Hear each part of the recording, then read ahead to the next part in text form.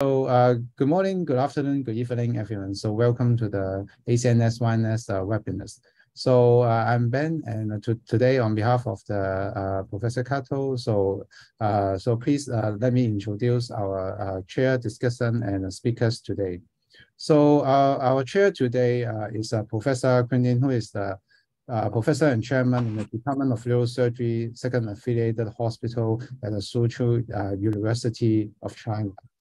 So along uh, uh, alongside with us uh, would be would be a Professor Sharan, who is talking about the functional neuroscience is the last frontier.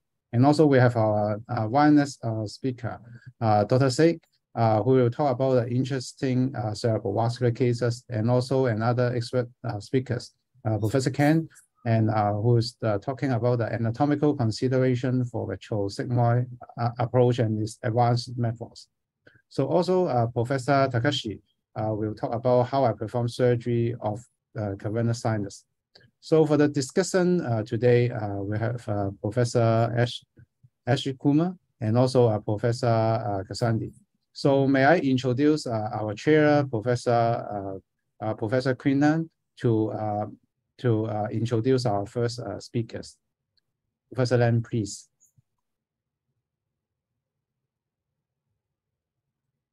Uh, the professor couple will have a will, will have a have a welcome welcome speech now. Oh, yes, yes, just you can introduce the first speaker. Yeah. yeah. Uh, uh, good, uh, good morning, ladies and uh, gentlemen. It's my pleasure to chair today's ACNS Young Neurosurgeons uh, webinar. Today there will be uh, both expert speakers and young neurosurgeon speaker.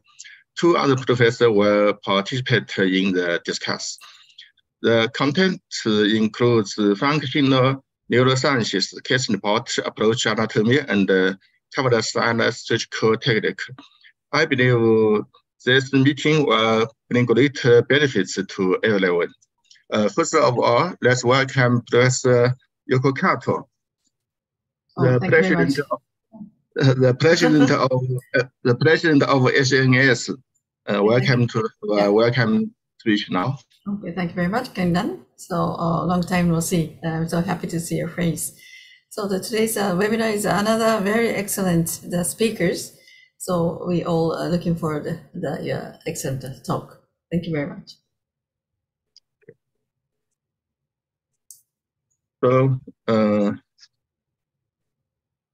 the the first uh, let's welcome Professor Professor Sharan Srinivasan to have a uh, lecture.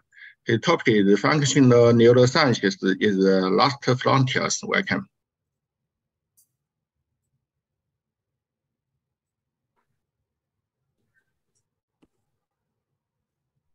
Yes, uh, we can see the slide now.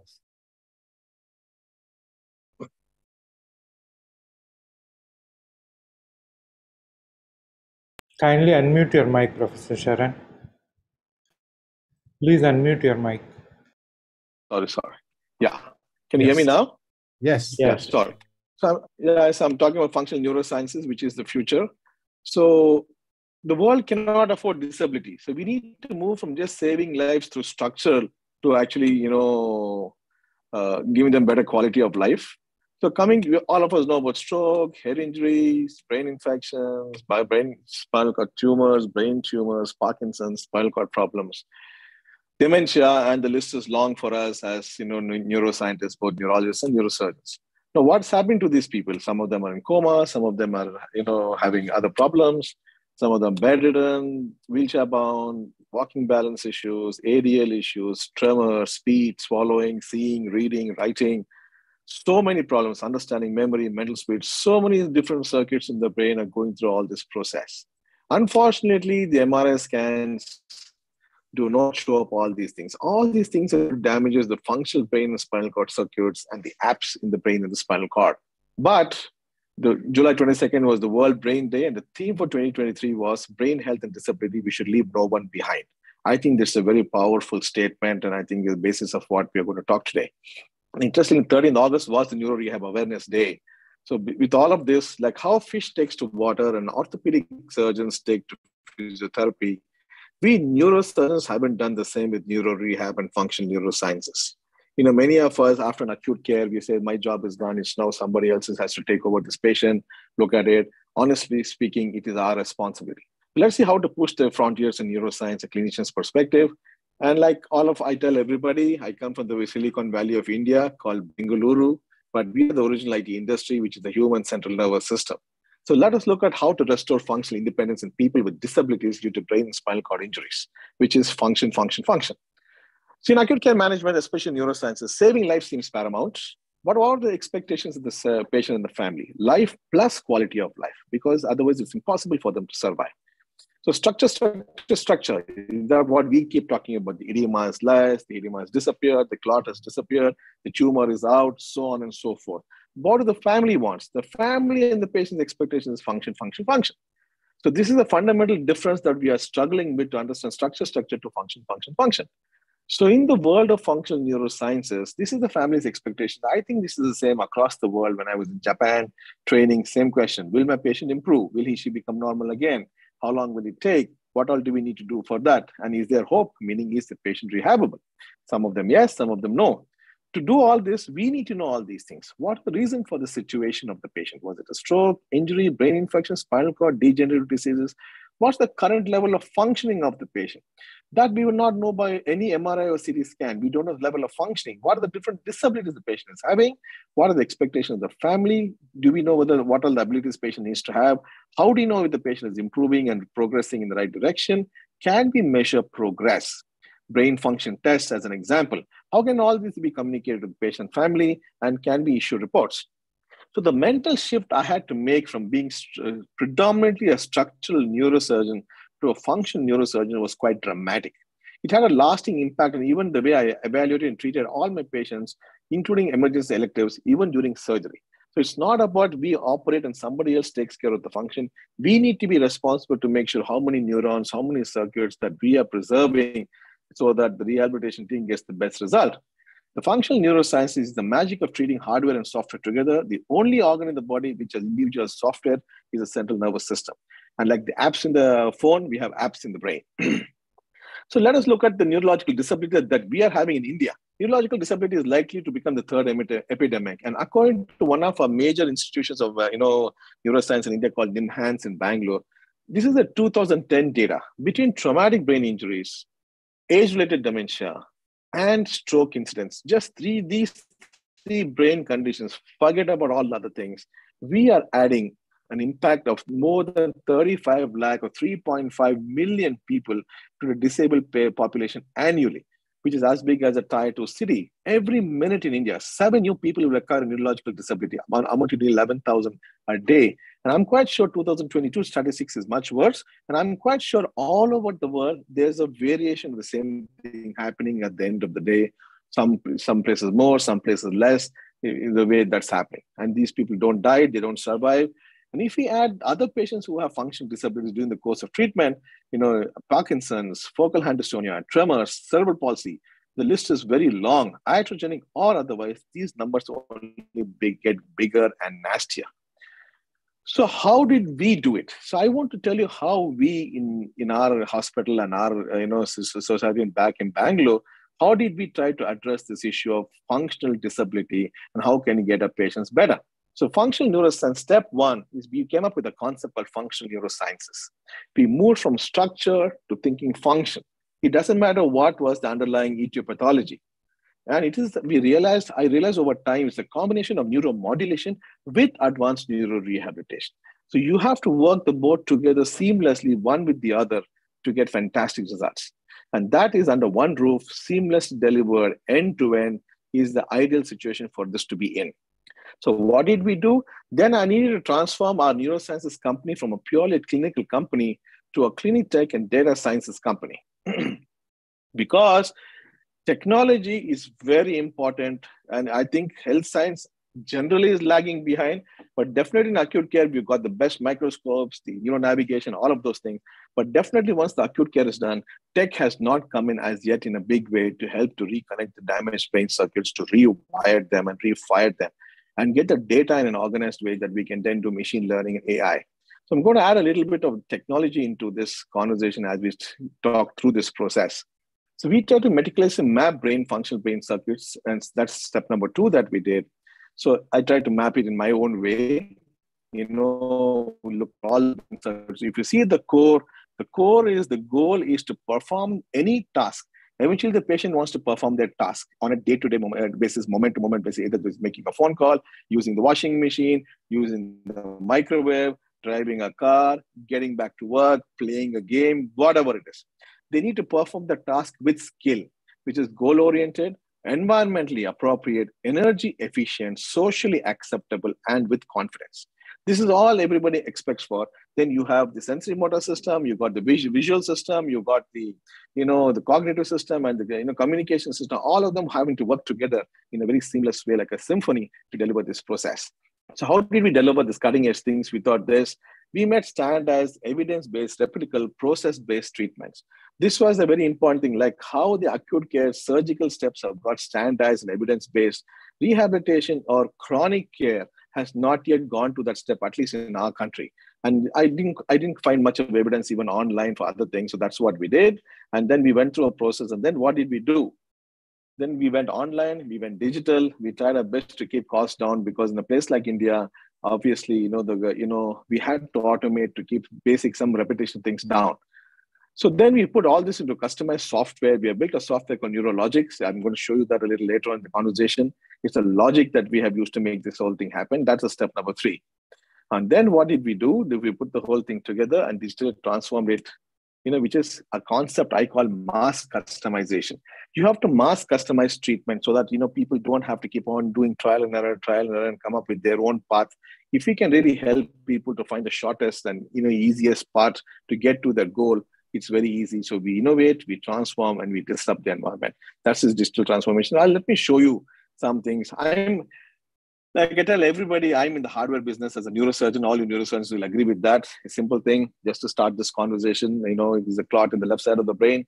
You know, there's a hematoma there, uh, and then post surgery, there's no hematoma. That means we say operation successful. But the question is patient condition. Is he going to wake up immediately? Not at all. So we, I realized very early in my practice and training that physical healing is not necessarily equal to a good functional outcome. The ideal goal is to restore, back 100 level of functioning. Is that possible in every patient? I don't think so. So what, like I said already, in case an emergency is the same thing. I'm going to skip this slide, you know, and uh, go next. So, sorry. So we added IOMT, which is Internet of Medical Things based personalized medicine healthcare into functional neuroscience. I thought this is a very focused area and can we try this? There's no life at stake. There's only, you know, getting quality of life. So the risk is not as much as in managing life uh, related critical care situations. Can we actually adapt this here in a controlled environment? And that's what we did. And we're trying to do that here. How does it work?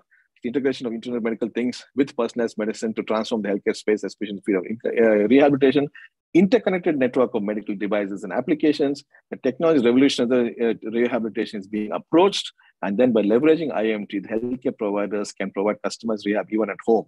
So there's a lot of big concept happening everywhere saying that it's less expensive to keep the patients at home and manage their services rather than keeping them inside a hospital, which is too expensive. And even in countries like America, they're encouraging the insurance companies literally push patients out of hospital earlier than later.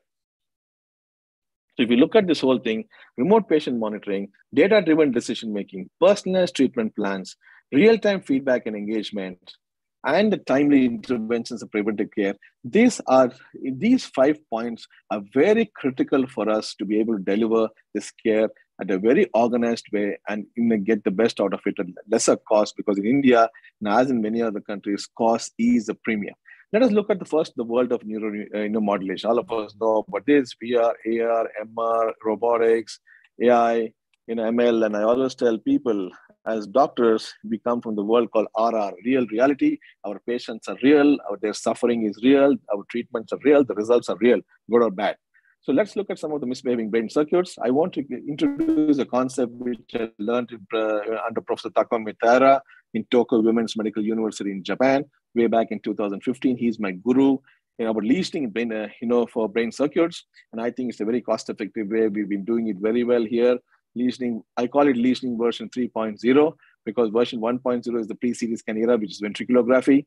And then the, you know, this was the 1950s, and then Syndopa came in and boom, you know, the surgeries came down drastically and it just went on. Syndopa was, you know, uh, sine qua non with treatment of Parkinson's disease. Then what happened? The levodopa-induced limitations and side effects kicked in, and then there's a revival of the stereotactic neurosurgery and enter version 2.0, which is CT early MRI era. This is my guru, Professor Takaomi Taira from Tokyo Women's Medical University. And then the version 3.0 is the post-DBS era when we realized that really not the solution for everything. There's still a lot of challenges patients cannot afford. Plus, they have its own challenges. And people at Professor went back to lesioning to see how much that can get precise with the learning learned from DBS electrodes and its positions. This is what happened.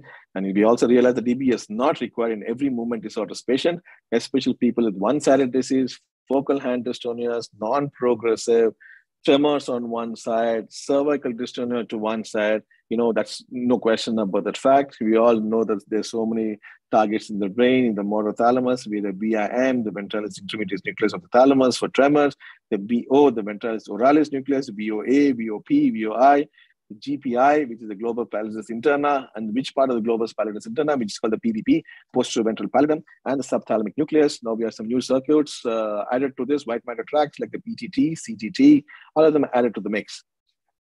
So let me show you some of the surgeries uh, I learned from Professor Taira that I'm doing back in India a task-specific focal hand dystonia, the VO thalamotomy, a 39-year-old gentleman, IT professional who wanted to play, was learning to play the guitar to become a professional. He developed three-finger, you know, cramps, sorry. So you can see here.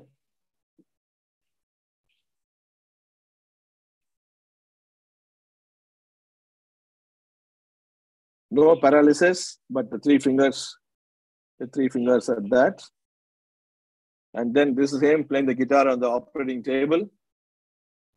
And me lesioning the VO of the thalamus.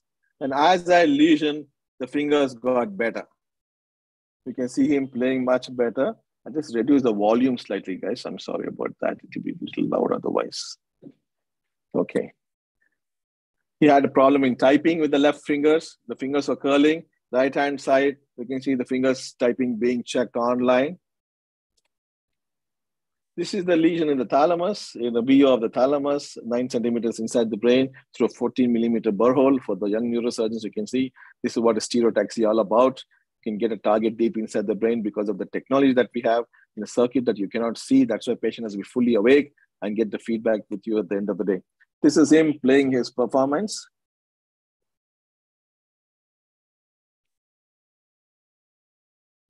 So that's him. This is him six months after surgery. You can see the control that he has. He's got it back.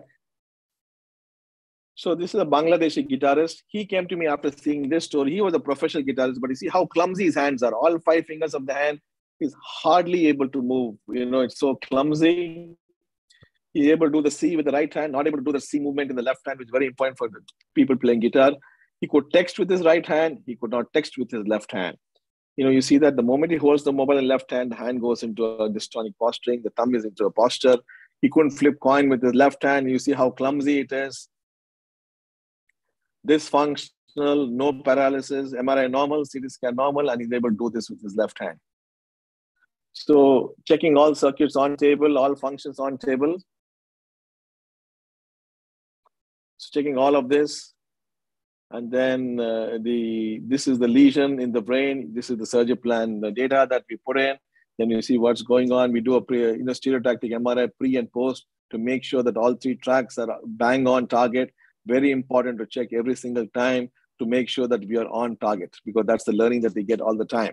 And that's what it is. The two guitarists playing the Jugalbandi. going to skip for lack of time.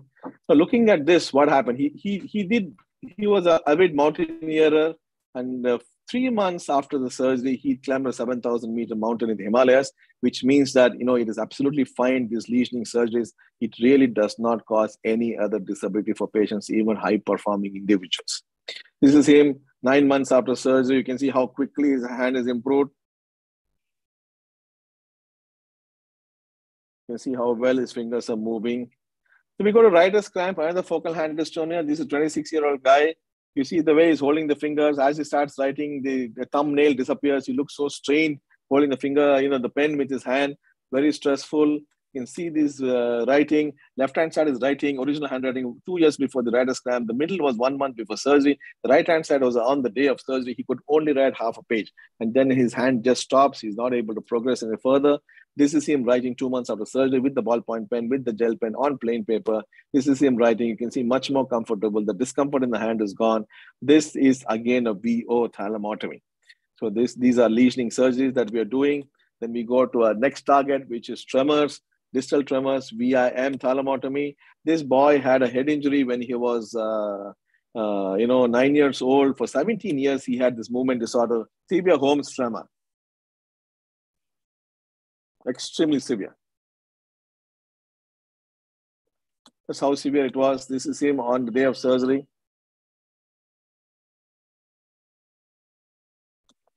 This is him two days after surgery. He still has bilateral, I mean, he has cerebellar signs also. So those things don't get better, but the tremor has come down. He's able to pour water into the cup. He's able to take it to his mouth.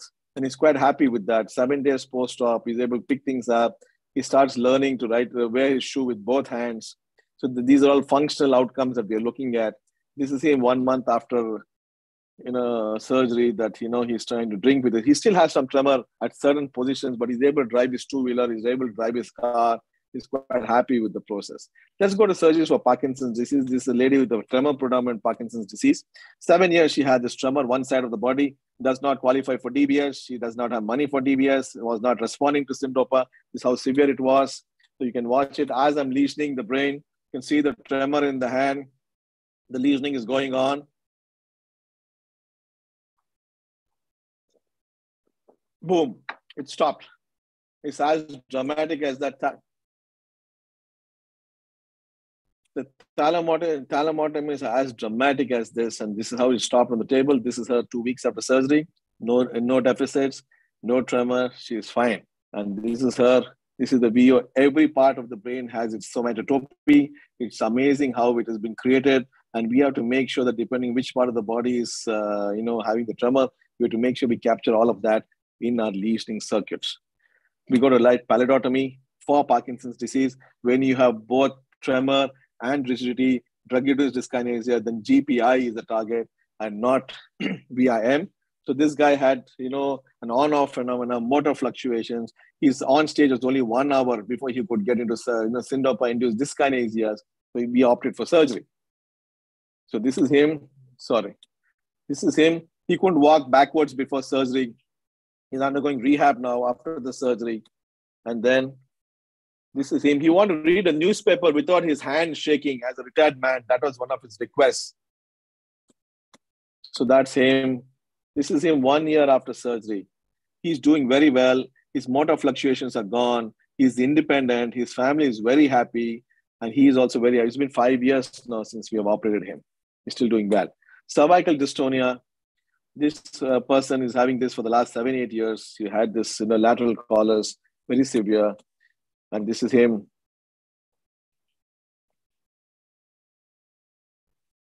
So it's four months into the surgery. This is what happened. This is the lesion in the brain. As you see, I have got both the stereotactic post MRI and the non-stereotactic images. You can see two uh, two globes there, right, right there, very clearly seen.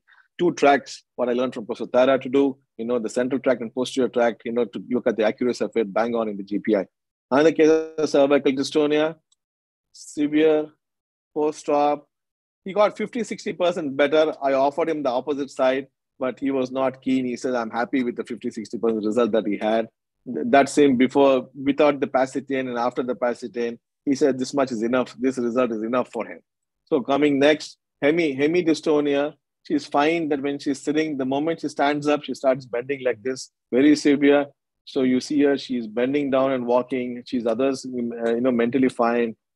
In pallidotomy, the results are not as dramatic and immediate as what you see in thalamotomy. It's, it's slow over time, slowly got better. And this is her uh, two years after surgery. She's got a little bit of new dystonia in the right foot that she may be coming back to me for surgery for some strange reason, you know, that didn't get covered in the lesion that we did, but otherwise she's fine.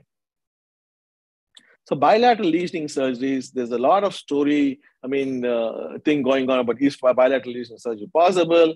Is it safe? You know, can it be done? So there's been some risk factors of bilateral uh, GPI or pallidotomy causing dysphagia, dysarthria. So there's been a lot of things going on. So how are the results? So let me show you a couple of places where we have done bilateral lesioning. So we're doing stage lesioning for bilateral Parkinson, for uh, bilateral symptoms of Parkinson's disease. One side pallidotomy, other side the pallidothalamic tractotomy or the PTT. So the first time in India, we did a bilateral stage lesioning for PD, a classical PD case that you can see. It's got all the features of PD, left more than right. So as you can see here, no question about that fact. And then this is him 18 months after the, he wanted left side to be fixed first, right? Pallidotomy, 18 months of the right pallidotomy. Look at the way his gait has improved. Left arm tremor is gone. He's so much more purposeful, his gait and walking gaze. Left hand tremor, right hand tremor, left hand no tremor, right hand tremor, left hand no tremor. Pallidotomy also reduces tremor significantly. And this, he came to me for surgery. He pushed me for the PTT between the first and second wave of the pandemic. And this is him one month after the second side surgery. he actually stopped his uh, levodopa for 24 hours just to see what's going on. This is what the results are.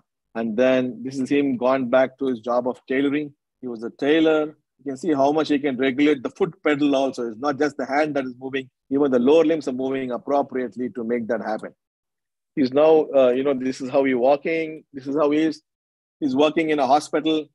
No stress this was published in the Romanian Neuro- Neurosurgery Journal recently. You know, the uh, uh bilateral uh, lesioning that is done.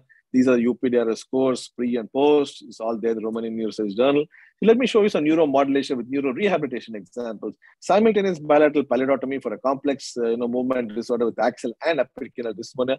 This man is a failed DBS. The left-hand side is actually a GPI DBS done in another hospital, which did not work. You know, he was still struggling. You can see him, he, you know, father has to still hold his hand and then make him stand and walk on the left hand side. You can see the battery there. You know, you can see the GPI there. On the right hand side, you can see him. The father is going to release the head right now. You can just see him as he leaves the head, how severe this is. You know, it's extremely severe. He had no money to replace the battery. Battery had gone dead, but he, this guy did not have much results. So family was not very keen to replace the battery. This is how severe it was. Apart from the neck and the axis, look at his attempt to drink water.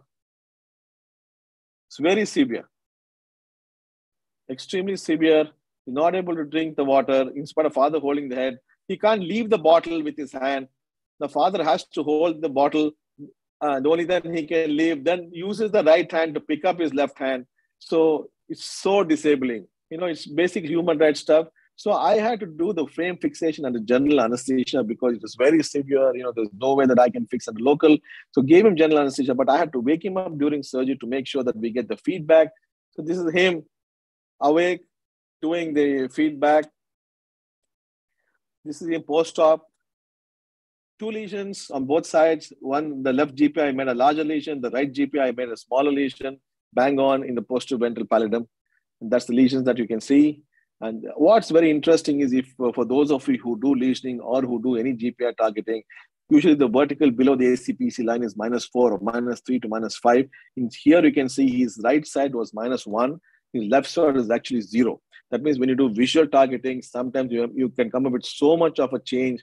And remember, every millimeter in the basal ganglia is like one kilometer. So you can't blindly put just the you know standard target that is there in the you know in the navigation system or in this. You have to visually look at every image, every patient differently, and look at what's going on. And this is him two days after surgery. His head is stable. Nobody has to hold his head. He went to an organized rehabilitation, you know, for four months as he started, at least you can see he got better. He went through rehab, but head is stable, body is reasonably stable. You can see him drinking water. Guy who could not drink water, who had to head had to be held, he's able to do so much. So the family is quite happy. He still has bilateral cerebellar signs. There's a cerebellar atrophy that is there, but the family is still very happy. So he's able to manage himself. He is a person who my mother had to be with him all the time. So manages himself, goes to the bathroom and comes. Still ataxic, but the, the you know this one is better. He goes to the field and supervises the workers, so they're quite happy with the process. So now let's look at the role of intrathecal baclofen pump in neuromodulation in TBI and SCI. I learned about disorders of consciousness and the you know thing in Tokyo Women's. As all of us know, spasticity is the bugbear for all neurologists, neurosurgeons, and rehab professionals across the world.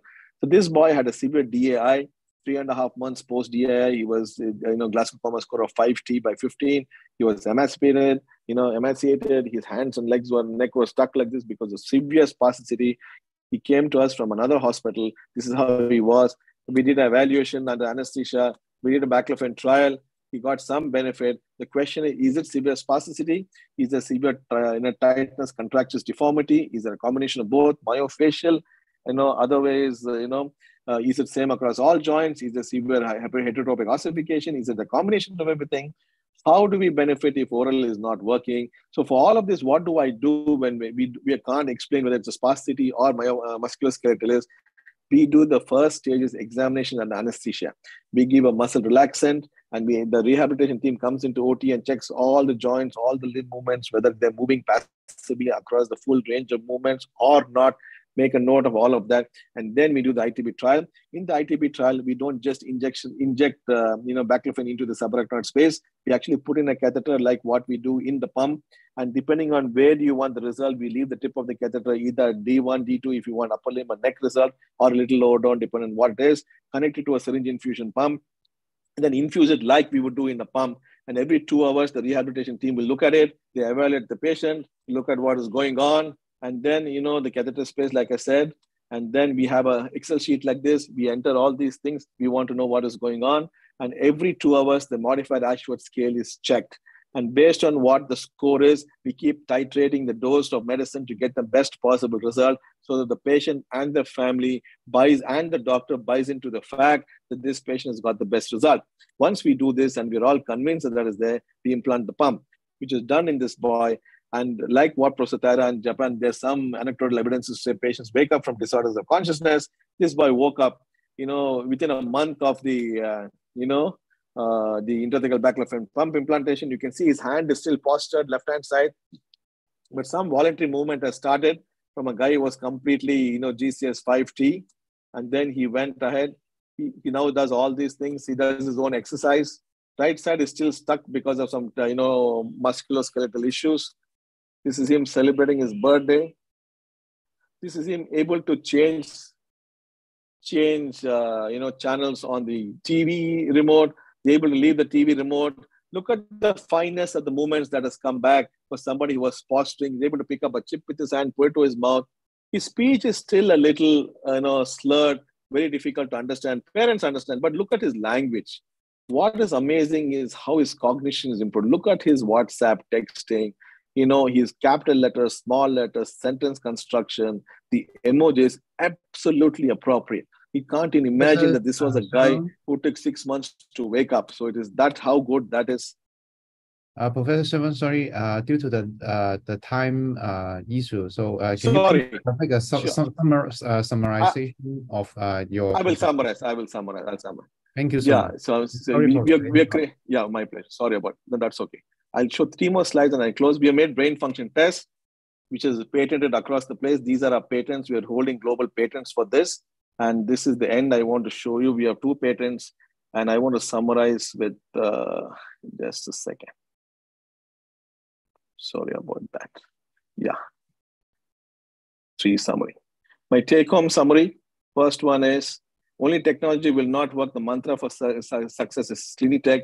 Second take home message is please do not you know try uh, over technology. We can do small, small things, you know, very simple things. Functional neuroscience is a very complex process that very few understand. It's CNS is still an old-fashioned wired model.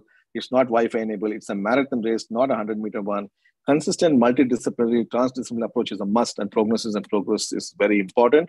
So that's what it is. So this, this is what we have to do. And the last thing I want to say at the end of the day is let us all do it together. It has to be evidence-based with patience and perseverance.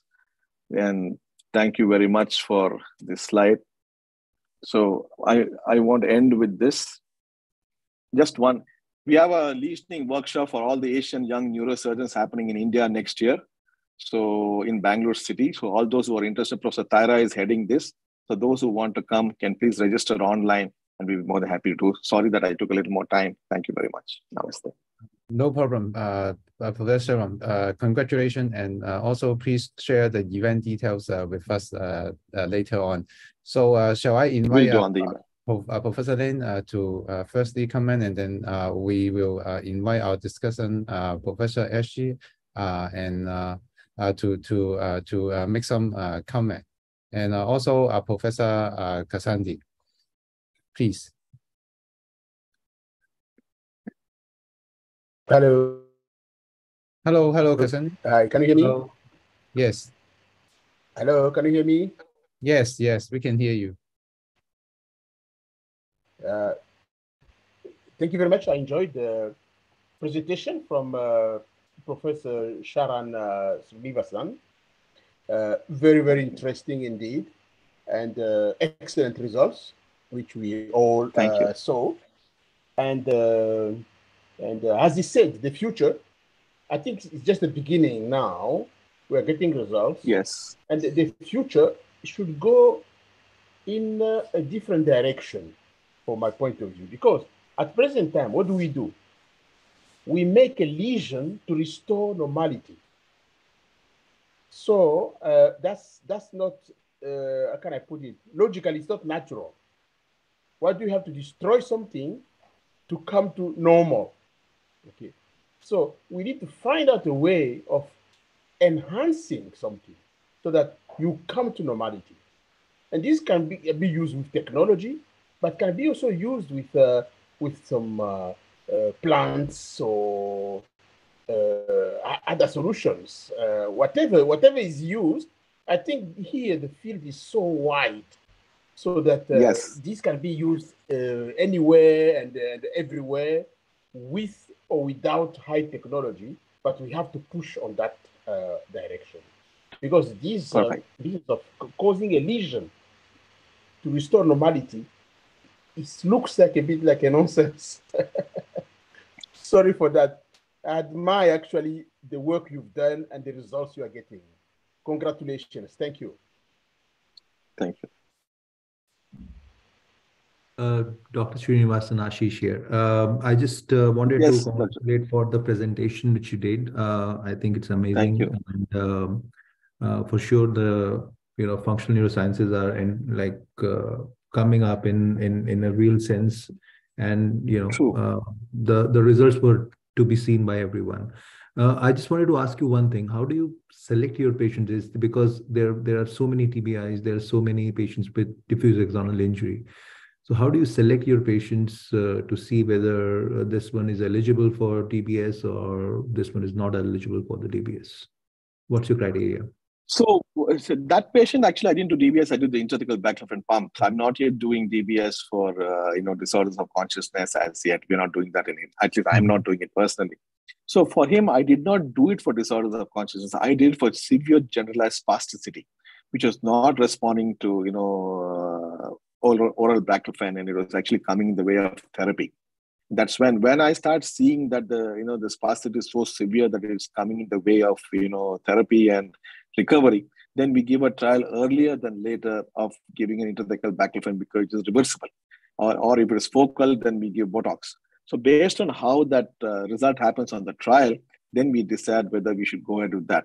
One of the biggest risks with trial is if you give a stat dose of 100 micrograms, which what most people do, or 50, 50, 53 times, you know, it may not be enough for us to produce a result when it's severely spastic, which is why I put in a catheter and transfuse to see if that will help and mimic that. So in with that way, I think our selection, I know one is failed oral treatment for any reason.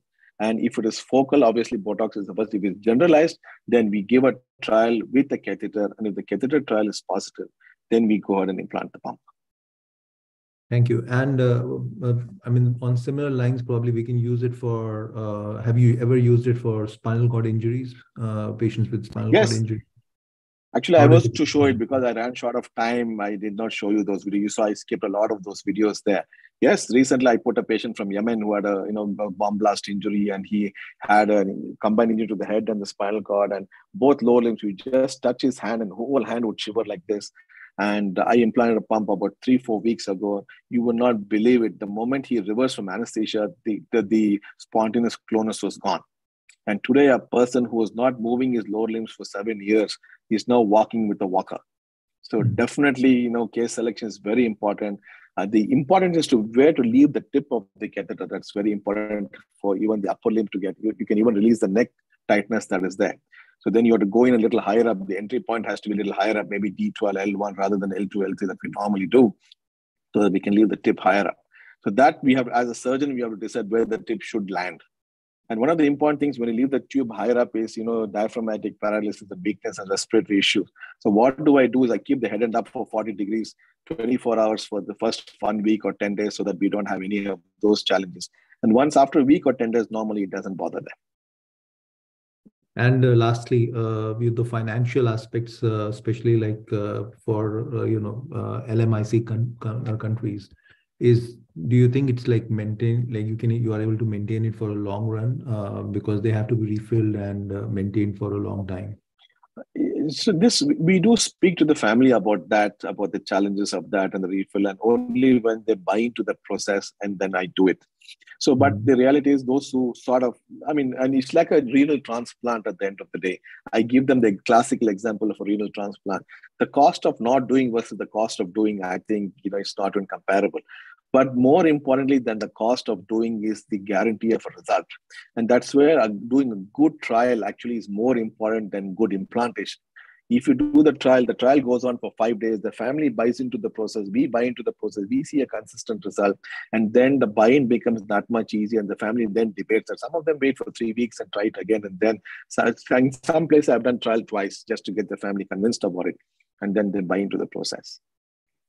No hurry, Thank- no convincing. You know, yet yeah, Yeah. the results have to. Thank, thank you, thank you so much. Welcome, welcome, Ash. Professor Lan? Yeah. Yeah, yeah. Okay. Any- Any comment Yeah. from you? uh, uh, yeah, the development of functional neurosurgery has brought uh, new perspective to the neurosurgeons, and uh, there is great uh, potential in the in this direction, especially with the development of cutting-edge technology such as brain computer interfaces, which can be said to be a significant leap forward yeah, uh, I think we can do a lot of for functional neurosurgery. okay.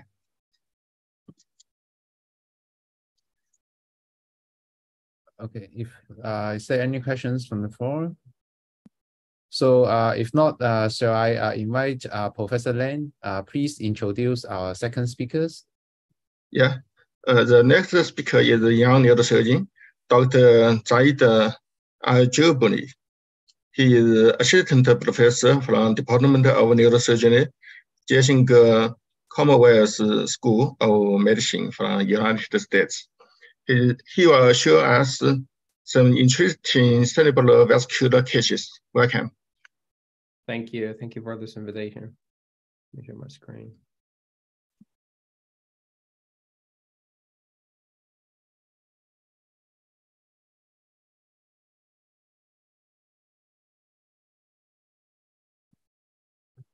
Are you guys able to see the uh, slides? Yes. Uh, okay. So uh, this is a case of uh, spontaneous vertebral artery dissection of the brainstem it's ischemia. still loading. Sorry, it's yeah, the, the Google slide is still loading. Okay.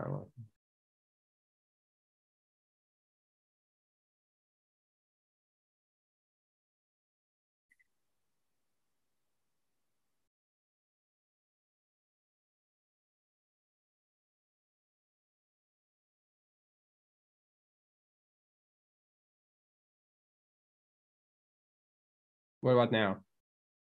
Yes.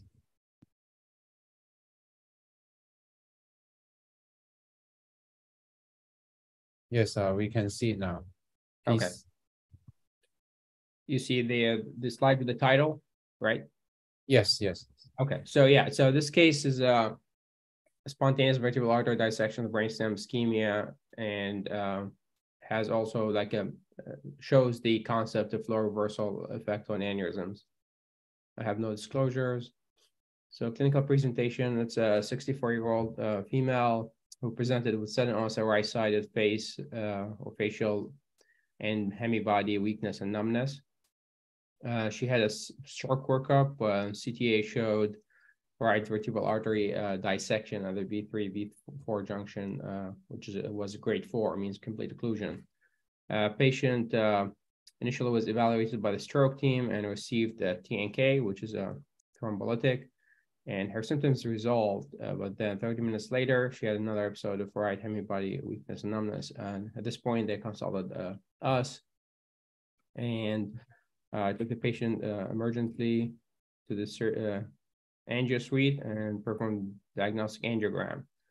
Uh, so the right on the left side of the uh, slide, you see the um, cervical run of the vertebral artery on the right side, and you don't see a flow past the uh, kind of V3 uh, end of the V3 junction. And uh, on the right side of the slide, you see a AP view of the left vertebral artery injection, which shows uh, the basilar artery PCAs, SCAs, and you can see that there's a reflux into the right vertebral artery, and there's a, a PICA aneurysm here. So uh, while completing the angiogram at the end, uh, I rechecked the right vertebral artery, and now you see that it has recanalized partially, and there is no extravasation at this point. point, and at this point decided to just occlude the vessel with coils.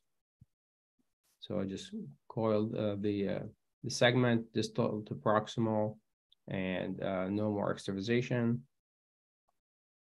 Uh, also, patient was put on aspirin 81, and her symptoms uh, post-operatively improved with residual facial numbness at discharge.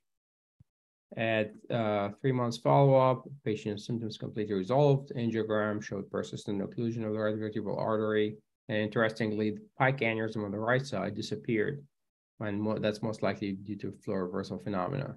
And if you can see here, on the right side of the slide, there was the aneurysm at the uh, PICA takeoff. And then you see at the uh, neuron on the left side, it, it's gone.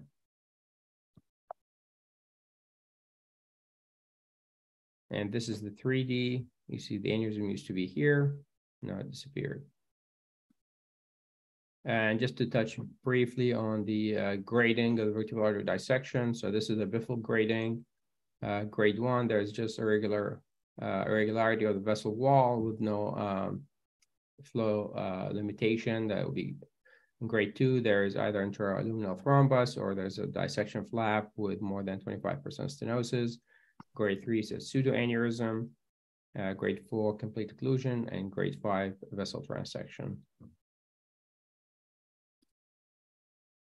And uh, as for the management of uh, ischemic stroke or TIA due to vertebral artery dissection, for TIAs, uh, the treatment, the initial treatment is antiplatelet therapy, three months, uh, and three months imaging follow-up, CTA would be sufficient.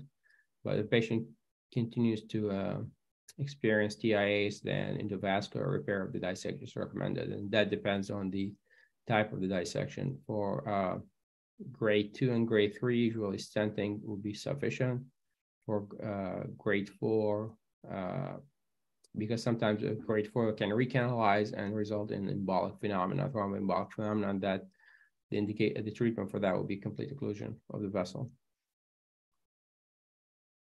As for uh, acute ischemic stroke, so um, there is a little bit of controversy about using thrombolysis because some might argue that you uh, can convert uh, dissection into hemorrhage, but uh, the current trends is uh, uh, intravenous thrombolysis is recommended. And as we know, if there's a large vessel occlusion, mechanical thrombectomy is an indication is indicated as well. And as for the dissection itself, then it depends on the grade. Uh, angioplasty is stenting for grade two and three. Uh, grade five, four and five, usually just coil embolization of the vessel or using uh, like MVP plugs. And addition antiplatelets uh, after 24 hours of uh, uh, the administration of the intravenous thrombolysis.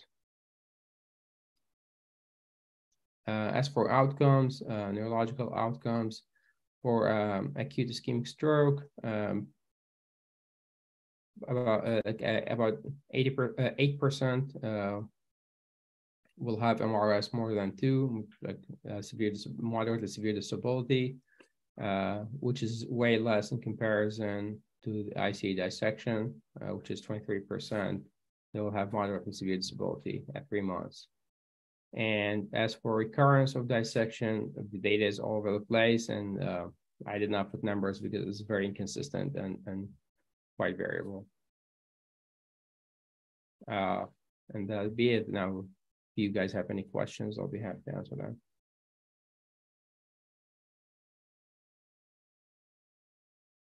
Professor uh, Lan, please uh, can you comment and introduce our discussion uh, to give uh, comments as well. Professor Lan, please. Yeah, uh, uh, I don't have any experience for the like these cases.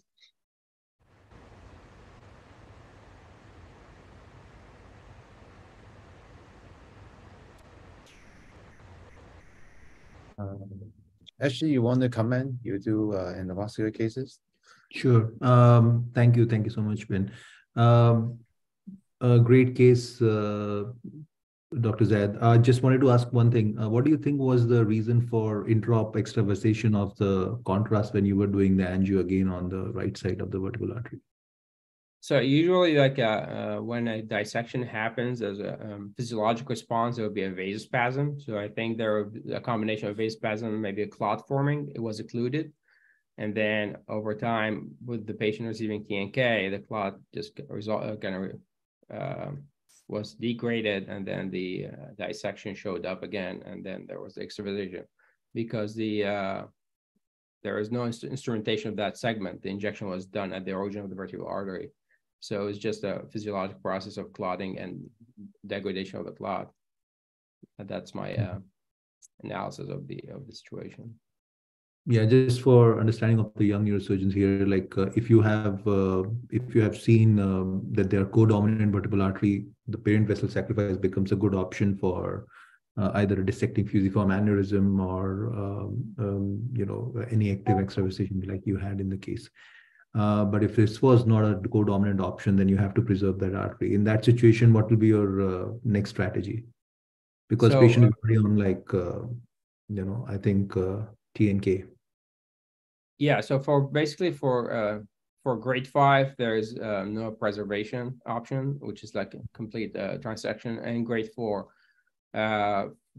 for grade one, you just put patient on antiplatelet. For grade two, with there's uh, intimal flap, with uh, more than 25%. Also treatment with the antiplatelets, if they're symptomatic, then you just do uh, stenting. Uh, for uh, grade three pseudoaneurysm, also uh, trial medication first and uh, add stenting uh, as a, a, supplementary treatment. Uh, these the, these grades can be, the vessel can be preserved for grade four and grade five. Unfortunately, it cannot. If it's necessary, you can sacrifice the vessel and then do a supplement with a bi jump graft bypass from like a V2 or V or V3 segment to uh, you can do to uh, ICA or PICA using occipital artery uh, that has been done uh, very rarely because it's a very unique situation where you need it, uh, but that would be the uh, salvage option here. Yeah, correct. Because the vessel preservation versus deconstructive approach has been always debated, but I think if you have a co-dominant vertebral artery, obviously you can sacrifice that vessel. Uh, it becomes challenging when you have uh, when this happens in, in the dominant vertebral artery because then you have to preserve at all costs and patient has a bleeding in the brain so uh, you know loading them with uh, antiplatelet agents uh, is not not fun. yeah. So uh, yeah, that is the that is the thing which I think uh, at least the young surgeons should know. Um, uh, based on uh, you know you have to understand the, the the the flow dynamics, whether the vertebral arteries are dominant or not, and based on that, I think you can take appropriate decision. Correct. And any um, any situation where you have seen that. Uh, um, you know, I know you said about the bypass surgery in case it is, but in in uh, uh, a clipping comes into the picture in, in case of a more saccular aneurysm, secondary to dissection, or you never uh, prefer clipping option in dissection cases?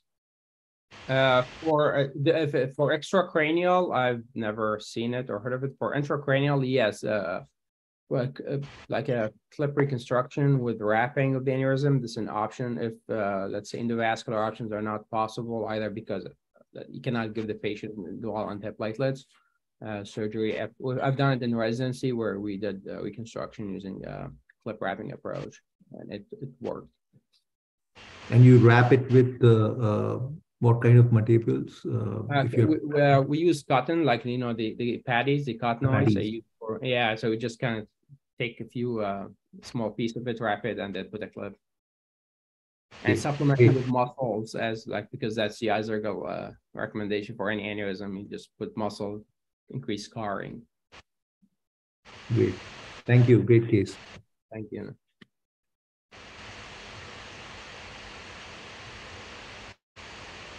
Ben, can I ask a question? Uh, yes, please go ahead. Yeah. Thank you, Professor Zaid, for the wonderful lecture. Uh, would have uh, would you have uh, uh, uh, put a covered stent in this situation?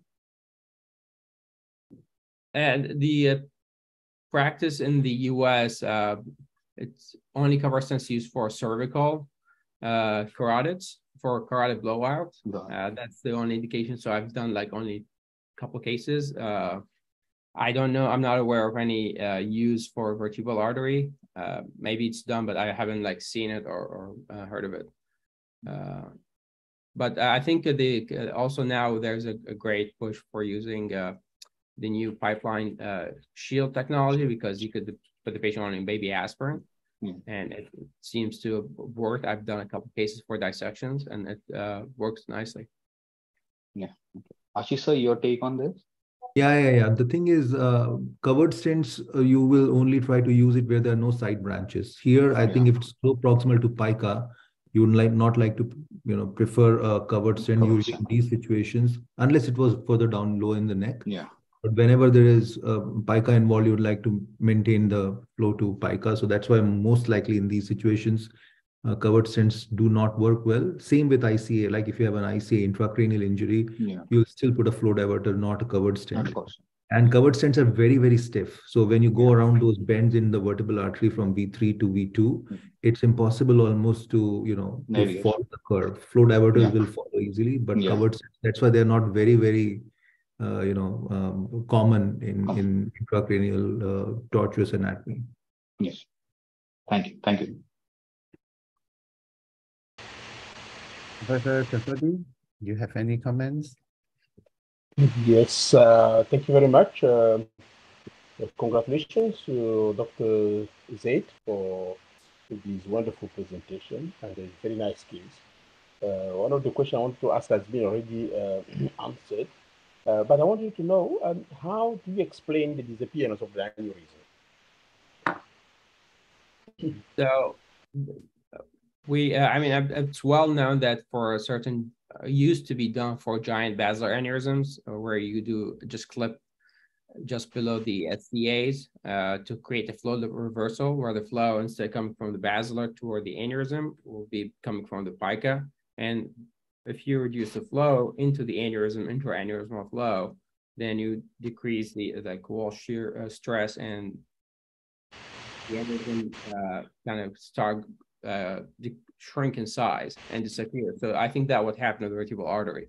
Although there are some papers argue that not all flow reversal works uh, in the favor of increasing the shrinking the aneurysm. Sometimes it actually aggravates. Uh, I think we just don't have enough understanding of the flow dynamics and how they affect aneurysm development. But in that particular case, I think uh, it was a dominant vertebral artery and it was a straight uh, jet uh, that's causing most likely causing the aneurysm because if you see it was straight shot from the vertebral artery to the uh, origin of the aneurysm. And when the flow is stopped by occluding the vessel, the aneurysm just uh, kind of shrunk in size and severe. Okay, uh, thank you very much.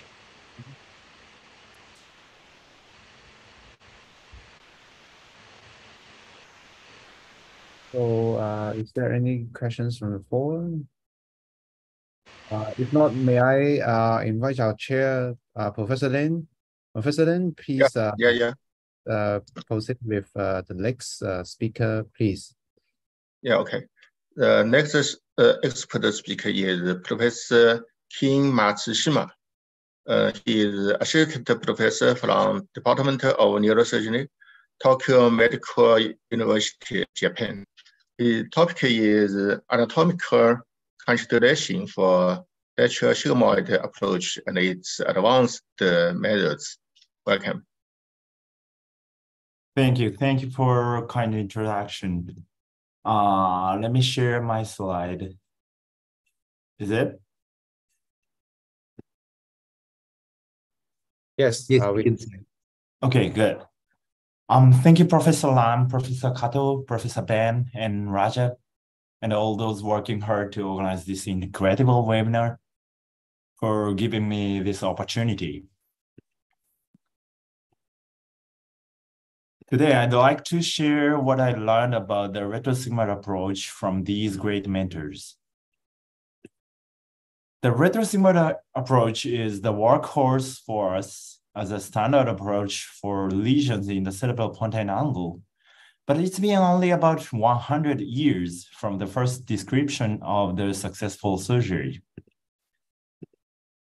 Before the basic retrosigmoid approach, we routinely check dominancy of the sinus and the connection of the sinus confluence, anatomical relationship of the posterior and transverse sigmoid junction, depth of the sigmoid sulcus, and the anatomy of the mastoid emissary vein and the posterior condylar emissary vein.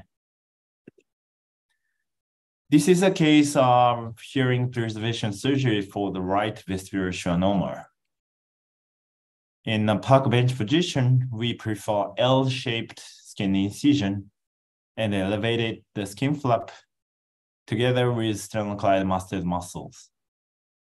Here you can see the splenius capitis muscle and the other suboccipital muscles were moved downward without dividing the occipital artery and the emissary vein was coagulated.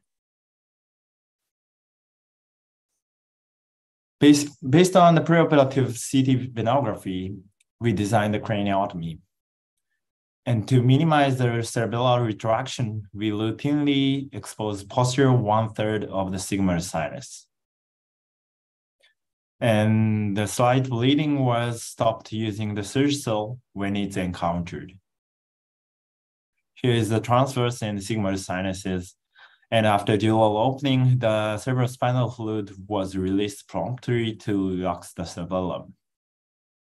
We dissected the lower cranial nerves and identified the root exit zone of the facial nerve and put the ball type stimulating electrode to start continuous facial nerve monitoring.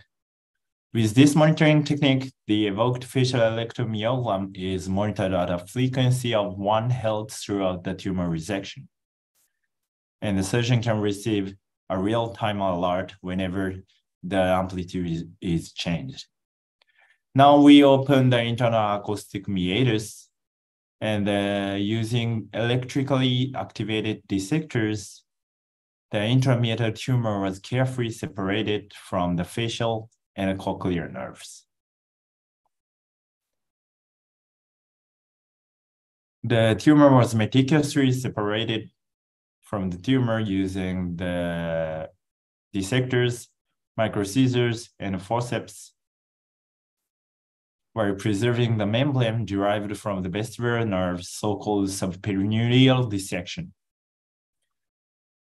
Near total resection was achieved while preserving the cochlear and facial nerve, and the dura was closed water tetry, and the suboccipital muscle was also closed water tetry. During these 100 years, many contributors proposed multiple variations to extend this approach. These are these variations with many nomenclature may confuse young neurosurgeons, but these variations can be classified into three groups. The first one is extended craniotomy, including the far lateral or transcondylar approaches. The second one is intradural drillings, including transmeatal and suprajugular approaches. And the last one is fissure dissections, including unilateral transcerebellomedullary fissure or telovelar approach. If we apply these classification in the most standard pterional approach, extend, extended craniotomy is like the orbitozygomatic approach. Intradural drilling is like the anterior clinoidectomy, and the fissure dissection is the Sylvian fissure openings. This is the anatomy around the foramen magnum from intracranial and extracranial side. When you want to extend the craniotomy, such as far lateral, transcondylar, or transcondylar fossa approach, it is important to consider combination of each one of these factors tailored in each case based on detailed anatomical knowledge without being constrained by approach names. This is a case of meningioma located ventral foramen magnum. In a park bench position, the suboccipital muscle was divided from the midline, and the foramen magnum and C1 were exposed. The posterior condylar vein was coagulated, and the lateral foramen magnum was widely exposed by removal of the condylar fossa and the C1 posterior arch. Following the posterior condylar emissary vein, additional drilling was performed to achieve wide surgical field to around the ventral foramen medulla. After dural opening, the cerebellar cerebellomedullary fissure was slightly opened to help cerebral retractions, and the ball type electrode was placed to start the vagus nerve continuous monitoring. Through the space between the lower cranial nerves, the tumor was carefully separated from the medulla and bilateral vertebral arteries. And now total resection was achieved.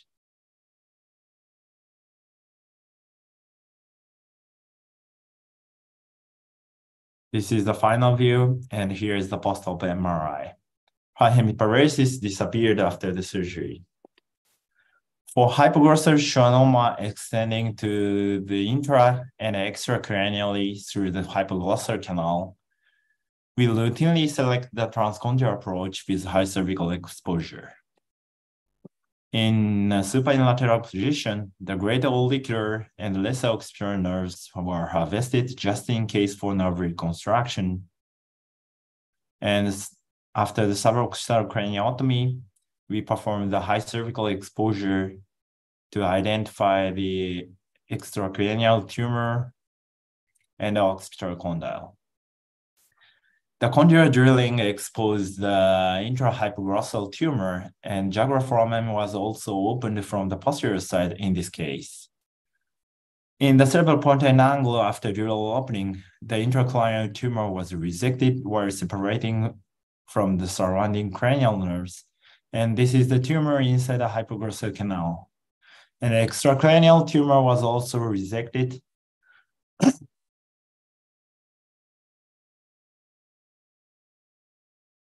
And after complete tumor removal, you can find the dural deficit in the hypoglossal canal. So we patch the duragen and use the bone cement for bony deficit and the SCM flap for covering the dural closure.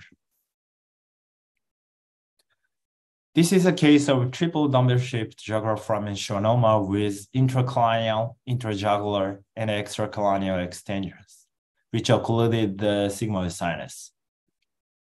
As like the previous case in the supine lateral position, we made a SCM flap for dural closure and small suboccipital craniotomy. The sigmoid sinus was skeletonized jugular foramen was opened and the sigmoid sinus was ligated. After the high cervical exposure, you can see the internal jugular vein, and here is the accessory nerve and the extracranial tumor. In the cerebellopontine angle, we resected the intracranial tumor, and now we are opening the jugular, jugular bulb and also resected the extracranial tumor.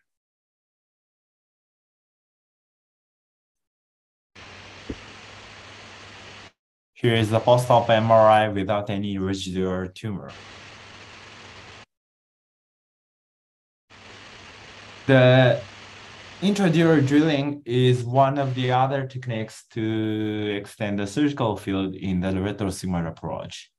Since the drilling target is the temporal bone, in which vital structures such as the semicircular canals and the carotid artery are included, you have to know the detailed anatomy to preserve them during drilling. This is the posterior surface of the temporal bone facing the cerebellopontine angle. You can see the trigeminal notch, internal acoustic meatus, jugular foramen, and a hypoglossal canal.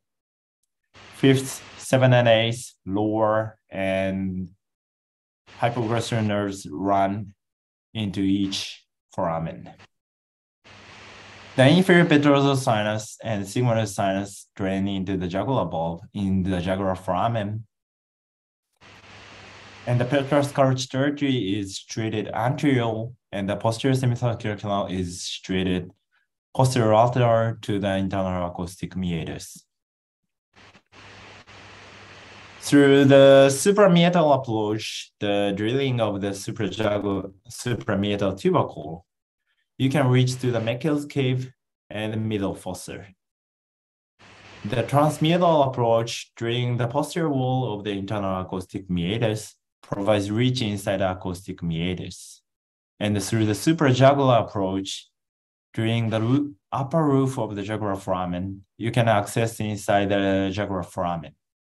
More drilling through the space between the acoustic meatus and jugular foramen can expose the medial surface of the carotid artery and I open the Meckel's cave from the inferior side so you can see the caudal surface of the fifth nerve here.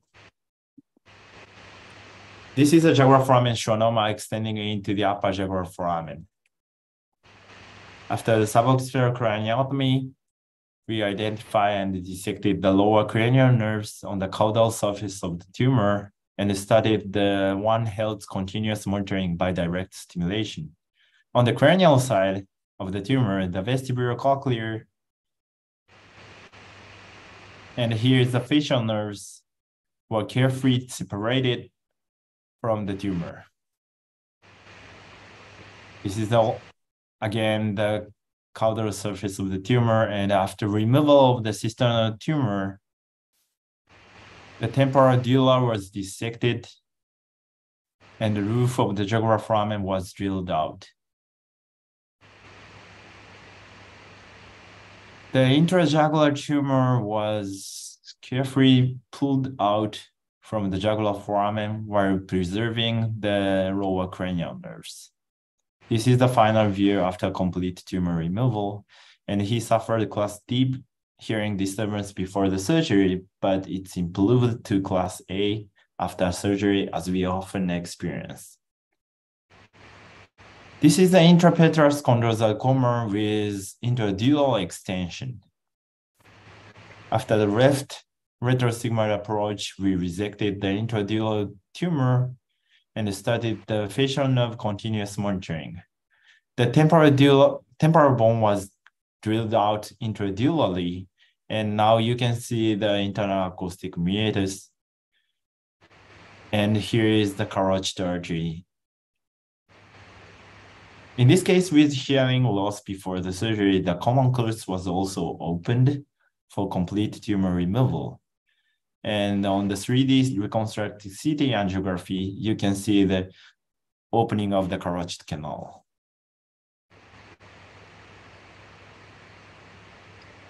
As like the Sylvian fissure in the supratentorial surgery, fissures are the biggest gateway for neurosurgeons to access deeply situated lesions um, without dividing any neural structures.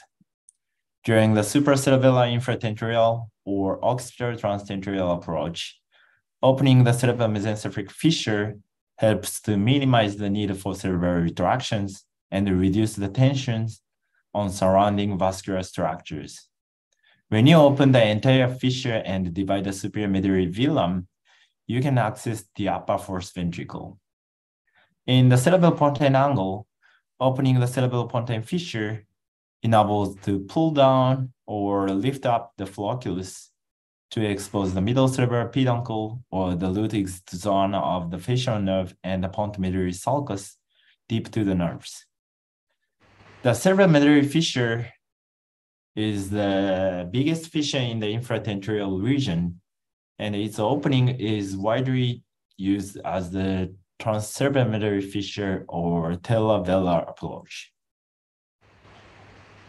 This is a case of cerebellopontine angle epidermoid cyst presenting hearing disturbance. After the suboccipital craniotomy in the park bench position, the petrosal and the cerebellopontine fissure was opened to help cerebral retraction. We carefully dissected the tumor from surrounding cranial nerves and vessels under neuromonitoring. For long-term tumor control, it is important to achieve maximum removal of, of not only the cyst component, but also its capsule. So this fissure opening enables this meticulous capsule removal from the brainstem under direct visualization. Above the trigeminal nerve, you can see the third nerve, pituitary stalk. And here is the final view. On the post-op MRI, there is no residual tumor, and hearing disturbance also improved as like the previous case. For, for such cavernoma at pont-medullary junction, Professor Bertalanffy, my mentor, has preferred to use the peripheral zone through the pont medullary junction. On the semi-sitting position in the left cerebellopontine angle, the lower and then 7 and 8 cranial nerves were meticulously dissected, and the flocculus was lifted up with choroid plexus by fissure dissection. The root exit zone of the facial nerve was confirmed by electrical stimulation. And through the space between the 10th and 11th cranial nerves, here you can see the pontomedullary sulcus on which the vein of the pontomedullary junction coursed. The lesion was located right under the incision and completely removed in piecemeal fashion through a tiny incision to the, on the sulcus. His modified Rankin scale improved from four before the surgery to one at the recent follow-up. In this presentation, I introduced the basic retrosigmoid approach and various extension techniques. I hope this talk can help many young neurosurgeons in some way. Thank you very much.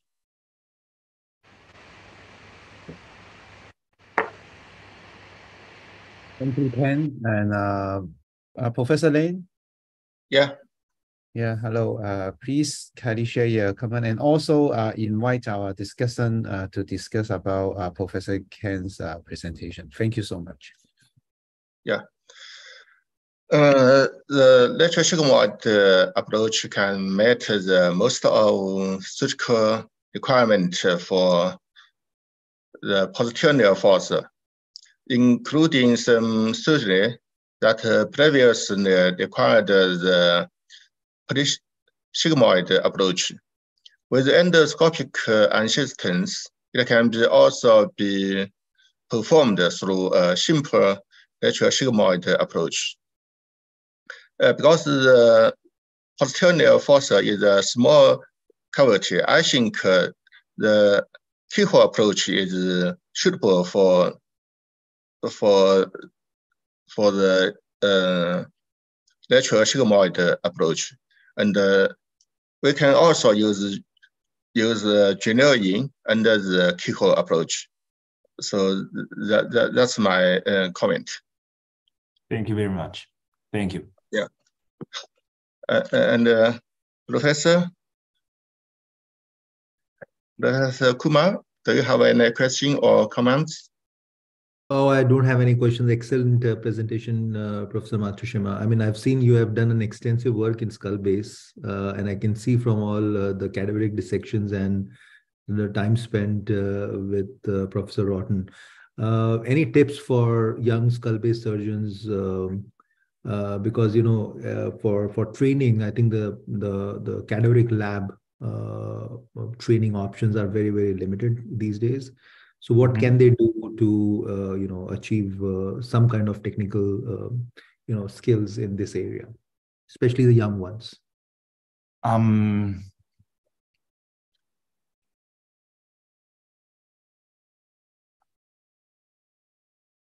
I I have to say the cadaveric dissection is the best way for training, but I can mm-hmm. understand even for us in Japan, it's very difficult to uh, get the opportunity to, you know, train with cadaveric specimen enough time. So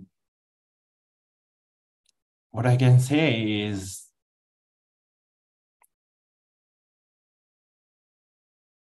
but we have now we have a lot of option a, a lot of way to learn anatomy especially around this posterior fossa, you know, um, we have 3D videos, we have 3D apps, uh, a lot of cadaveric textbooks. So first, we have to be familiar with the anatomy, right? Mm-hmm. After that, we have to, you know, even after the, from, uh, even after getting detailed anatomical knowledge, we have to think, learn about the neural monitoring. We have to learn about the endoscopic technique. We have to learn about the microsurgical technique. We, you know, we have a lot of things to learn about. But first one is the anatomy, right? Yeah, uh, thank you. I mean, I uh, that's that's the uh, bottom line. Um, just one more question in terms of retrosigmoid approaches, uh, because here in Toronto, we now, I rarely see a retrosigmoid for a vestibular schwannoma. They have uh, been doing for almost 10, 15 years translab approach. Uh, mm-hmm. so what's your opinion on, uh, I mean, I know the retrosigmoid is the workhorse for uh, posterior fossa tumors, but any, any preference versus for translab versus uh, especially when the hearing is affected on that side versus retrosigmoid, or you still choose retrosigmoid in uh, most of the cases? Um, for the version case of vestibular we routinely select the retrosigmoid approach. We never do the translab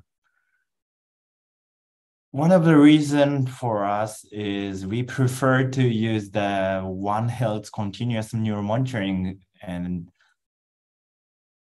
we can start that neural monitoring after identifying the root zone of the facial nerve and put the ball type electrode on the facial nerve, right?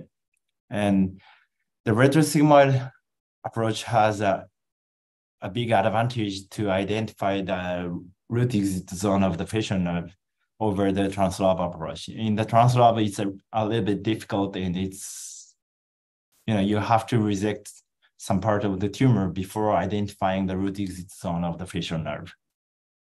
That's why we prefer to use the retrosig.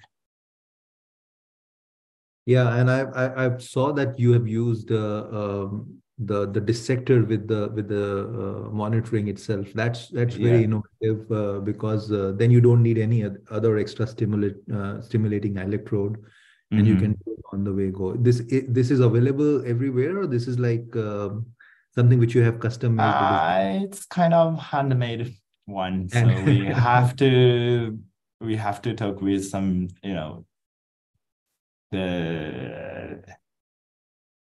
yeah we have we have to talk about it with some companies okay all right it's a mm-hmm. great innovation let me try about that thank you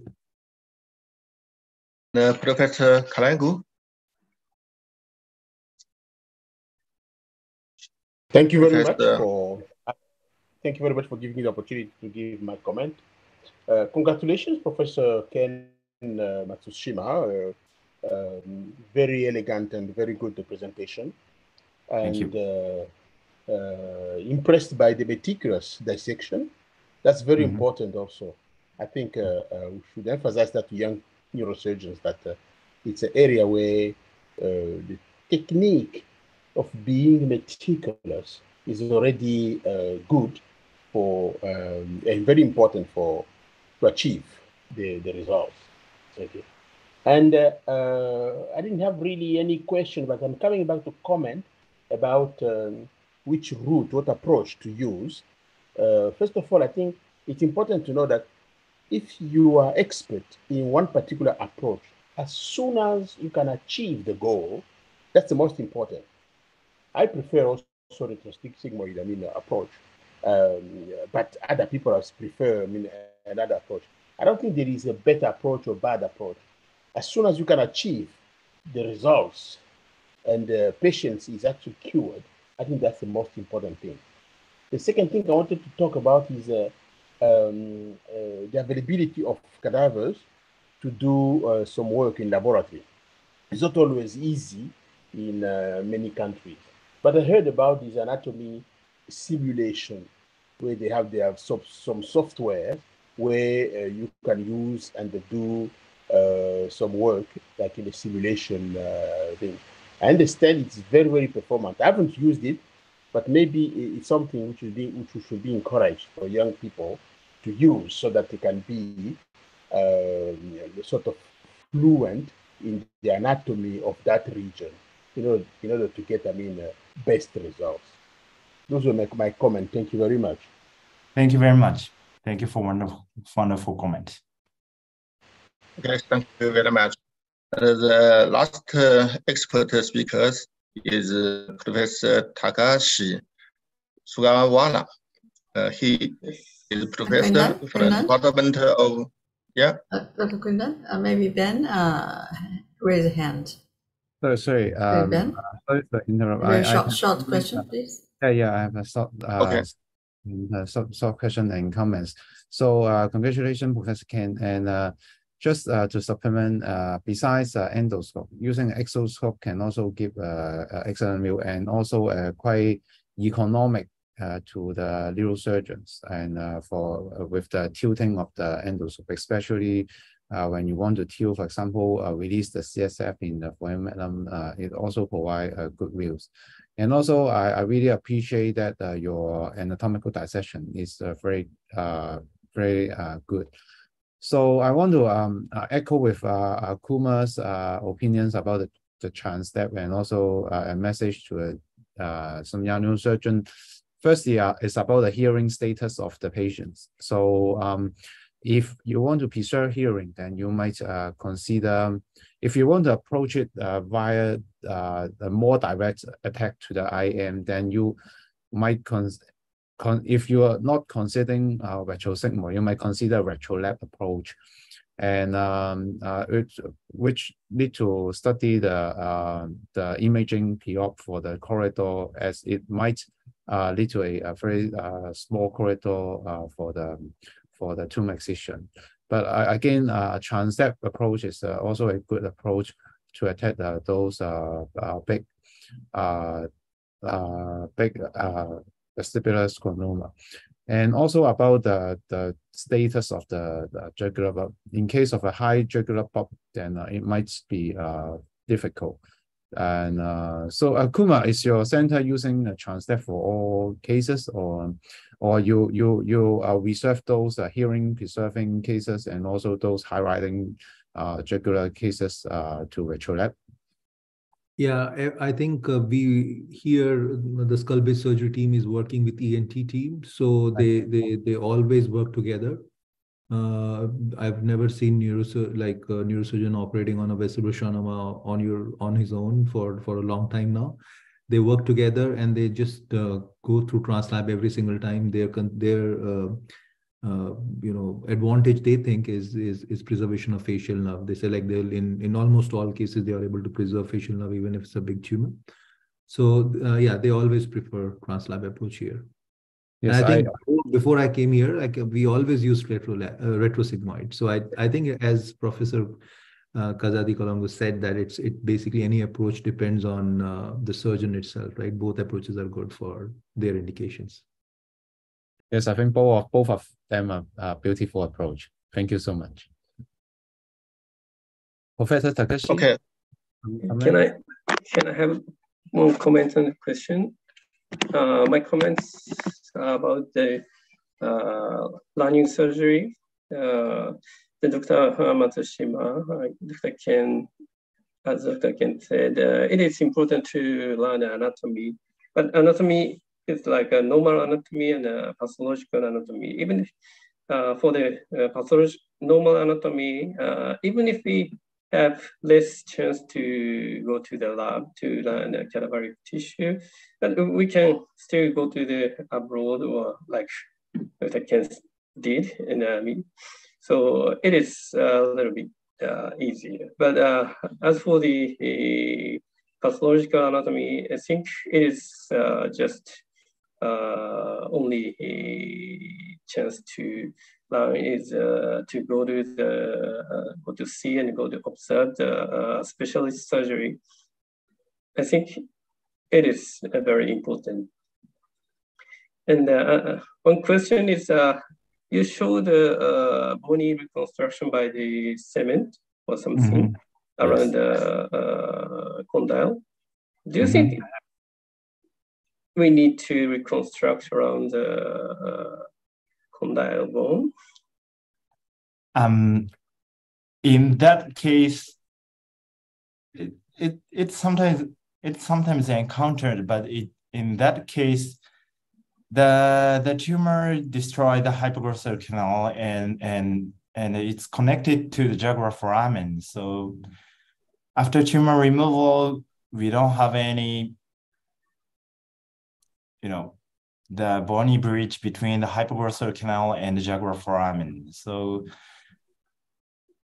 we are not sure we need it or not, but we are afraid of the the long term this dysfunction of the OC junction. So we put the bone cement for support of the bony deficit. Yes, so you mean uh, every time you drill the, around the hypoglossal canal, mm-hmm. you we need to reconstruct? I don't think so. I don't think so. But if if the the preoperative osseous damage is very severe, we have to consider about that.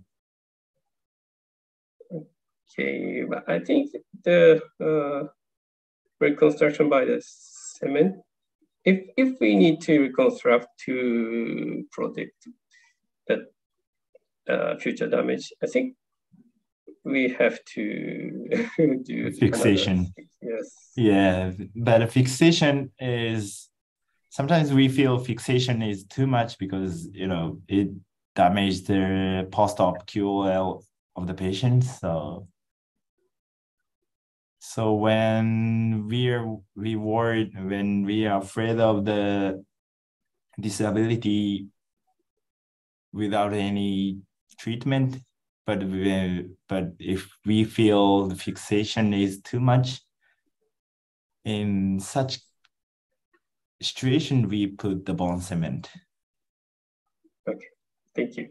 I'm sorry, I'm not sure it's it's the you know correct answer or not. I'm sorry. So we are waiting for the results.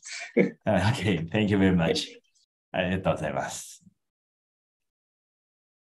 Okay, thank you very much. So next we turn to the last last speaker, Professor Takashi Sugawara, please. His topic is how I perform surgery of cavernous sinus. Please.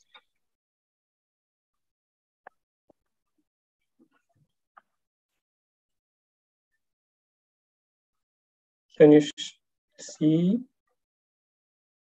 Yeah. Yes.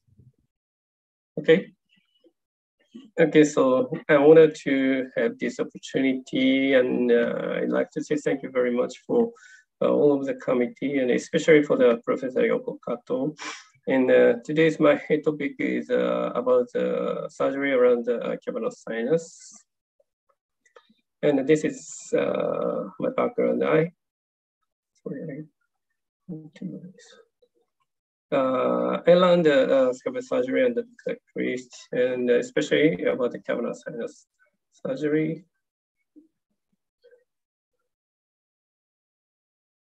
And uh, sorry. And these pictures are from the 2019 uh, Neuroscience Institute opening ceremony. There are many uh, surgery family gathered here. And this is uh, this year's June, I went to the uh, and uh, cavernous sinus course. And uh, this is a third International Rhoton Society meeting in Istanbul. This was held uh, last week, and uh, uh, many uh, family, Dr. Rhoton's family and the Dr. Uh, Yasargil family gathered and discussed a lot about the microsurgery, especially uh, Professor Yasargil uh, mentioned the importance of the micro microneurosurgery because you know now the endoscopic surgery and endoscopic surgery were uh, established and uh, widely spread, but still uh, the microneurosurgery is very important technique to uh, do the neurosurgery. And uh, from here, I am going to talk about the cavernous sinus surgery. The resection of tumor around the cavernous sinus involves risk of cranial nerve injury. And uh, so the radical, radical resection such a tumor is still challenging.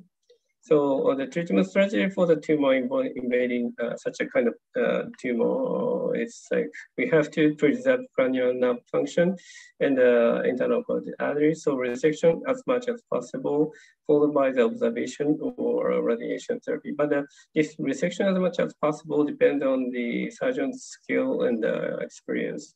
So for some neurosurgeon, uh, this means no resection. But for another, uh, some neurosurgeon, uh, means a gross total resection. Uh, here is a uh, stereotactical tactical radiosurgery result for cavernous sinus meningioma. The tumor control rate is uh, around 90% for 10 years. So this is, I think, good enough. But uh, as for symptom improvement, uh, around 30%, only 30% uh, improved. So I think this is not good enough. So um, this is my uh, surgical indication. The surgical resection is indicated for the uh, patients with neurological symptom or rapid growth. So the, the region invading the cavernous sinus is removed as much as possible while preserving the cranial nerves.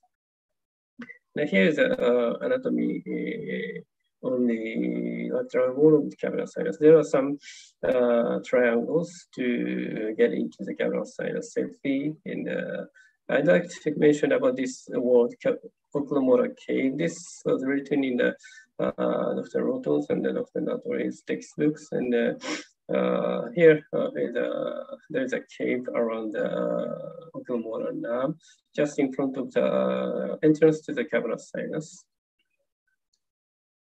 And this is a pathological uh, cadaveric uh, tissues. I think everyone know about this. So uh, I'm going to show the uh, anatomy around the uh, process uh, by the sinonasal malignant cases to show the inside of the uh. Uh, here is the entrepreneurial process and the uh, force snap is running and uh, here you can see this uh, optics is and removing the uh, entrepreneurial process and here you can see the optic strut and the synapse and the uh, optic nerve is very close. So we have to take care about the, these nerves uh, when, it, when we remove the optic strut. And here is the optic optic nerve and uh, here you can see the false nerve. I think this is uh, one of the fibers of the FB1. And the C3 here, and this is the ring, proximal ring here, and this is the ring here. And uh, I sacrifice the salmon. And here you can see the uh, stump of the salmon and you got the, all of the uh, tissues passing through the cerebral tissue. And here's also the malignant tumor. And the peel the temperature appropriate from the sinus lateral wall. And uh, here you can see sanam. We got the optic nerve and open the paramedial triangle. Here. You can find the C4 here. And got the V1 and uh, expose the sixth nerve just behind the V1. And got the six nerve and also got the sana bandura. And then here you can see C3 and the Q4 and the proximal ring here. And uh, the nerve, V1. All of the uh, cranial nerves in the cavernous sinus was uh, cut in the remove the tumor envelope with the light. And this is a craniofacial meningioma case, and she, uh, her symptom was uh, counting fear and almost complete uh, light motor palsy. And I tried to remove and restore the function the function and open the Parkinson triangle, but the tumor was uh, too stiff to remove. So I gave up to remove the tumor in the cavernous sinus in this case, but uh, I had to uh, re remove the tumor to decompress the sana. So I got the uh, tentorium here and open the oculomotor cave like this and uh, remove the tumor here. Here and uh, here is uh, uh, posterior fossa. And continue to remove the, the conferences are This is a final view. And uh, eight, eight weeks later, uh, uh, symptom was completely improved like this. And this case was a small cavernous sinus meningioma case. She has a progressive oculomotor and the nerve palsy. So uh, I tried to remove to restore uh, nerve function. And here you can see the sixth nerve uh, through the anterolateral triangle here. And here is the interdural space. So the oculomotor nerve was uh, compressed to the medially so open the oculomotor cave. Yeah. She had a big oculomotor cave here like this. And they continue to cut the uh, tentorium to expose the tumor. And uh, here you can see the uh, optic and the open optic cyst and the oculomotor nerve, uh, no, the optic nerve here. And uh, remove the tumor with Dura, like this. And open the, the lens triangle. Here is a, a relatively safe place to remove the tumor. And again, went back to the upper medial triangle and uh, develop the tumor here. And this is the postoperative process. And there must be running the uh, false nerve running and uh, open the Parkinson triangle. And uh, finally, I found the sixth nerve here in posterior fossa. So once I found the sixth nerve, it, it's going to be easier to remove the tumor with observing the sixth nerve. And this is a final view. And she had a slight uh, upward movement restriction in the ptosis. But uh, in one week, uh, uh, symptom was recovered almost completely. In this case the recurrent craniofacial atypical meningioma. She underwent a three-time surgery and AVRT and four times gamma knife. So still the tumor regrows and uh, compressed uh, brainstem like this. So I, and also her uh, left visual function was completely lost. So I uh, decided to remove the tumor with uh, uh, sacrifice all of the left visual function and the, in the uh, cavernous sinus. So here you can see the sarna in the got the sarna, here. And here you can see the contralateral And there are small perforator from the quadrilateral, so we have to preserve these kind of small perforator. And this is a final view.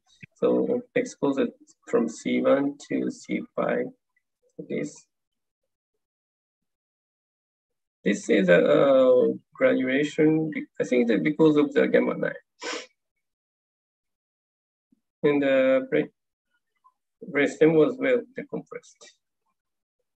In this case, it was uh, recurrent pituitary adenoma cases. And she underwent the uh, endoscopic transsphenoidal resection and uh, followed by the gamma knife for the residual. But still, the tumor recurred and uh, uh, invade to the intradural space like this and compress the optic nerve and the uh, nerve. So uh, I decided to remove to tumor or transcranially. And uh, here you can see the V2 and the V3. And unfortunately, the tumor uh, was still uh, suckable, a little bit hard, but uh, still suckable. And removes the uh, anterior process. Here you can see C3 and uh, remove the tumor bisection and uh, open the paramedial triangle and uh, also uh, here is the interdural space and there you can see the tumor here between the optic nerve and the IC and cut the diaphragm and uh, develop the tumor. I think this place was uh, much better to remove from the nasal cavity, but still we can remove the tumor from the uh, transcranial, transcranially. And uh, dissect the tumor from the anterocranial artery. And uh, here you can see the sunlight and uh, makes the uh, window bigger and uh, remove the tumor here. And cut the tentorium just beside the uh, femoral and uh, cut the posteriorly along the uh, femoral nerve. Here. in uh, the complex uh, sun to restore the function. Uh, here, the, here you can see the C5 polarization and here is the posterior fossa and then we found the sixth nerve from this window. And this is a final view. And uh, she had a severe global palsy just after the tumor, uh, just after the tumor resection, like this. It's very severe. But uh, three months later, the uh, symptom almost improved, and she didn't diplopia anymore.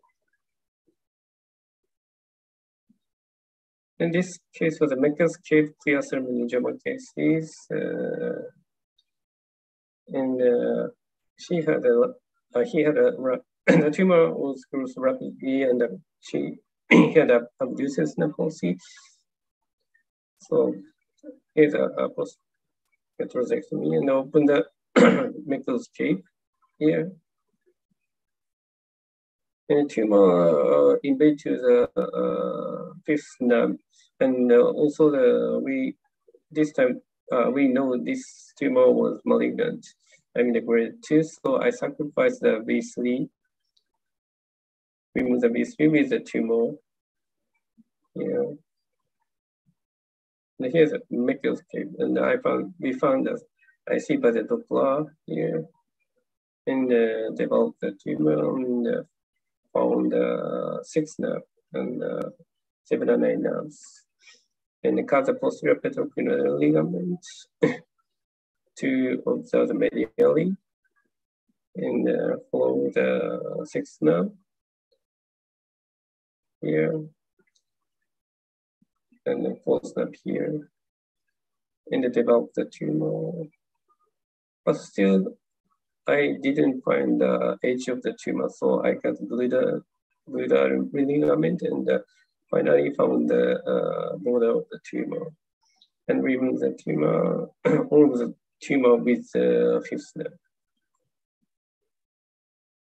And his abilities now mostly recovered, improved, recovered 2.5 months later.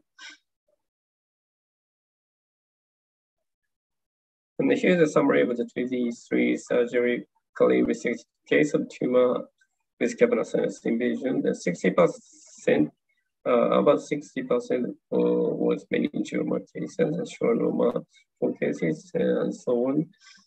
And uh, I operated 12 cases to improve external ophthalmoplegia, and uh, 80 to 90% was uh, recovered. But uh, this uh, one worsened case was a case of long-term persistence of symptoms. I mean, it took a long time uh, from the uh, symptom to the surgery. Uh, and this one case was a recurrent case after removed and gamma knife therapy. So the uh, tumor was too firm to decompress the uh, oculomotor nerve. So I mean, uh, if the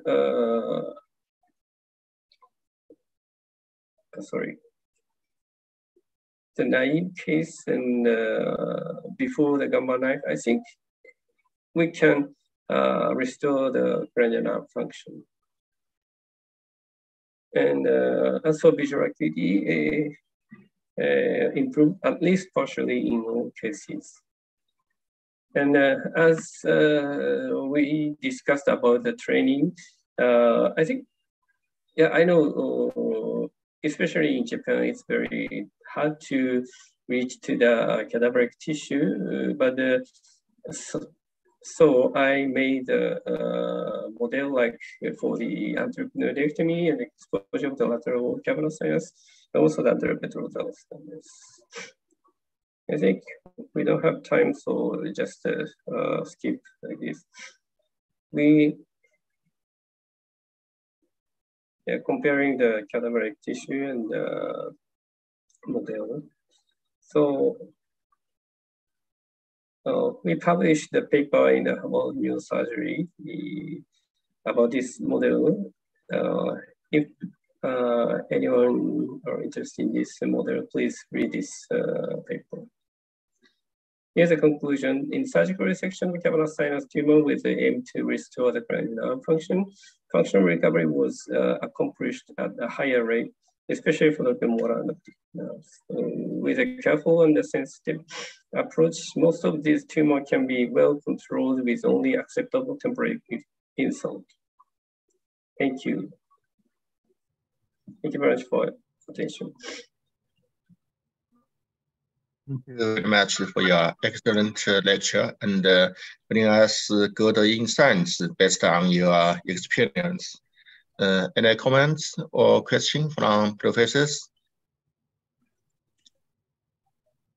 Thank you so much, Professor Sugawara. I think that was a again uh, in line with extensive uh, and uh, very nicely done skull-based dissections. I would like to ask you one thing. If suppose there is a patient who has no symptoms and you see that as an incidental cavernous meningioma, how do you approach that? Radiosurgery observation versus surgery with temporary uh, nerve dysfunction, which improves in the long run? Actually, uh, as I told, uh, you know, gamma knife is uh, one option, but the, after gamma knife therapy, it makes it much uh, difficult, more difficult to resect. I mean, to improve the uh, function, restore the function. So uh, for me, I uh, observed uh, such a, a, tumor with a symptom. So as I, as I showed, my indication for the surgery is tumor with symptom or a rapid growth. And after uh, that, the symptom, sometimes symptom occurred, then I try to remove. And uh, after that, it depends on the uh, temperature grade or my uh, feeling after resection. Uh, sometimes I do the uh, IMRT, and sometimes I observe the tumor uh, And what's your uh, uh, go-to approach uh, in terms of craniotomy? Is always like intradural approach, Dolenc's approach, or um, or or or you do intradural? Intradural you, you versus intradural. Yes. You mean that to the cavernous sinus? Yes. I think uh, cavernous sinus was uh, extradural space. So peel the temperature appropriate from the cavernous sinus lateral wall, and mm-hmm. we can get into the uh, cavernous sinus. But uh, as I showed, uh, one of the most important uh, thing is uh, to decompress the uh, oculomotor nerve usually. So, and uh, it is easier to find the open oculomotor nerve intradural space. And uh, also, uh, in the first case, I uh, gave up to remove the tumor in the cavernous sinus, but uh, I decompress the oculomotor nerve around the, in, in the oculomotor cave. So I think in oculomotor cave is very important place. Usually the tumor in the oculomotor cave is very soft, suckable. So mm-hmm. uh, at least to, I think I have to remove the tumor in the oculomotor cave. That means we need to go into the uh, intradural space. Intradural. Thank you. Excellent presentation. Uh, and any comment uh, else? Anything else? Just, just I want to ask uh, Professor Qing Lan, because you're excellent, you are excellent keyhole neurosurgeon. You are almost a pioneer of the keyhole surgery. Mm-hmm. So how, how do you think about the, of course, the those uh, uh, very orthodox uh, skull-based uh, open surgery? The, will be replacing or the endoscopic uh, the minimally invasive surgery in future? How do you think about it? Yeah, I think uh, the scalp-based surgery is most suitable for keyhole approach because the keyhole approach is uh, keep the effective uh, space for we used to the surgery. And uh, as I said before, we can use general also under the uh, keyhole, uh, keyhole approach. So I think uh, uh, I think uh, the, for most of uh, most of our surgery, we can use the keyhole approach. Mm -hmm. so uh, because we can. Yeah. -huh do, do you think or do you feel the, any uh, limitation of the endoscopic surgery for the moment? Uh, how do you think about it? Uh, uh, may, may, maybe uh, for some time we can use the endoscope for assistant. Mm -hmm. uh, it, it's special. Uh, uh, we we we should uh, uh, we should do, do something uh, under the normal tissue. Uh, and uh, we use the endoscopy assistant, we can uh, we, we, we, we can easier to find the uh, lesion and and uh, uh, and and remove it without all the normal structure. Mm. Thank you very much. Uh, Sensei, uh, I ask you, thank you very much. Excellent uh, the lecture, as always. So, uh, how how uh, how do you start the, your uh, because your you know the uh, anatomy or skull base anatomy is very clear. Uh, how, how you can start how how you study, or especially for the young doctors.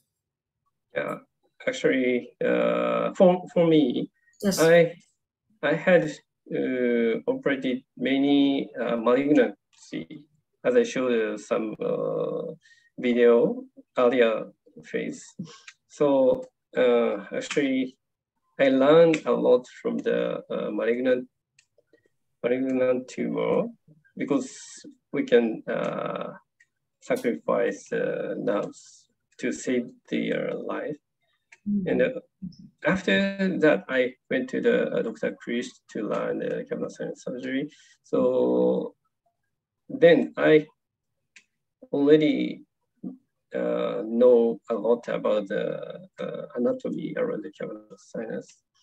So it is uh, kind of a little bit easier for me to learn uh, cavernous sinus surgery, but uh, it is not usual, I think, special. So uh, we, I know, I think the, we learn the anatomy by the uh, tissue and uh, as uh, Dr. Matsushima said, I, it is uh, sometimes, especially in Japan, uh, as uh, hard to reach to the cadaveric tissue. So uh, I made the model as I showed. So much. Yeah, I think, yeah. Please, yeah, I think the text textbook is not good enough because uh, you know anatomy is uh, three dimension, and uh, also the we have to find the feeling of dissection. Mm-hmm. Thank you very much, and congratulations. Thank you very much, Dr. Ben. Um, yes, uh, Professor Takashi, I really like your lectures so uh, so much about uh, uh, management of the uh, the how, how to manage the cavernous lesion. Uh, I want to ask about your experience in those uh, sinonasal tumor. So uh, how do you reconstruct the skull base uh, of these tumors? Because I also have um, uh, uh, have encountered patients that really to do the orbital and cavernous exenteration together. Alongside the ENT surgeon is doing the um, uh, uh, lateral um, uh, lateral uh, maxillotomy, and also uh, need to have a ethmoidectomy, and also need to resect a lot of the um, the uh, frontal and temporal dura's alongside with the orbit and also the cavernous sinus. So is there uh, any, uh, can, can you share about your experience in reconstructing uh, the skull base to avoid the CSF leaks? uh, there are many steps for the reconstruction. Uh, usually the plastic surgeon do the reconstruction, I mean the make a prosthesis bed or some uh, cosmetically. But uh, your question is how to prevent the uh, CSF leakage, right? Yes, so, yes uh, usually the nasal malignancy invade to the uh, intradural space. I think it is maybe uh, contraindicated to the surgery. So, but sometimes the tumor attach the dura. In that case, I remove the dura mater with the tumor and uh, uh, reconstruct the dura uh, uh, by the some uh, tissue like pericranium or uh, mm. side. And uh, then the cavity of the resection was reconstructed by the plastic surgeon, like with uh, usually the lateral side reflux. Mm. So they uh, mainly use the microvascular defect for the reconstruction? Is is uh, are they using the uh, uh so they mainly use the microvascular feedback for the reconstruction. Is there any preference in your center about for, uh, for the defect? I mean, yes, yes. Is there any preference in your center? So, uh, what free flap uh you will use to uh to reconstruct the skull base usually? For example, usually, yeah. I think lateral side free flap. Okay, so uh, the vastus lateralis uh free flap. So usually, um, because the skull base is quite uh destroyed after the operation. So uh do, do, do you know where will they do the anastomosis? Uh, STA. STA. So yeah. STA also to the uh, to the. Okay, thank you so much. Thank you.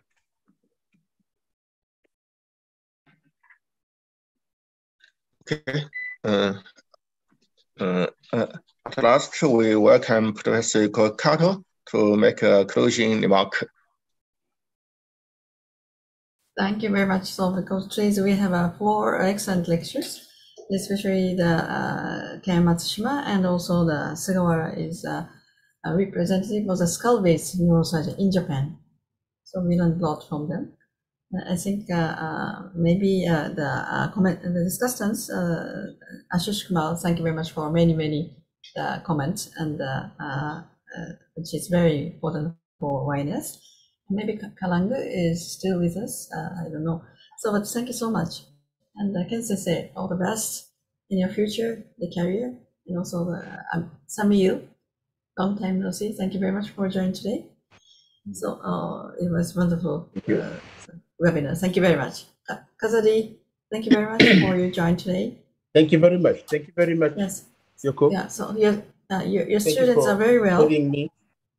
Yes, in, in, a, in two weeks, they, they will be leaving. Thank you very much. Oh, thank you very much. Very, very grateful.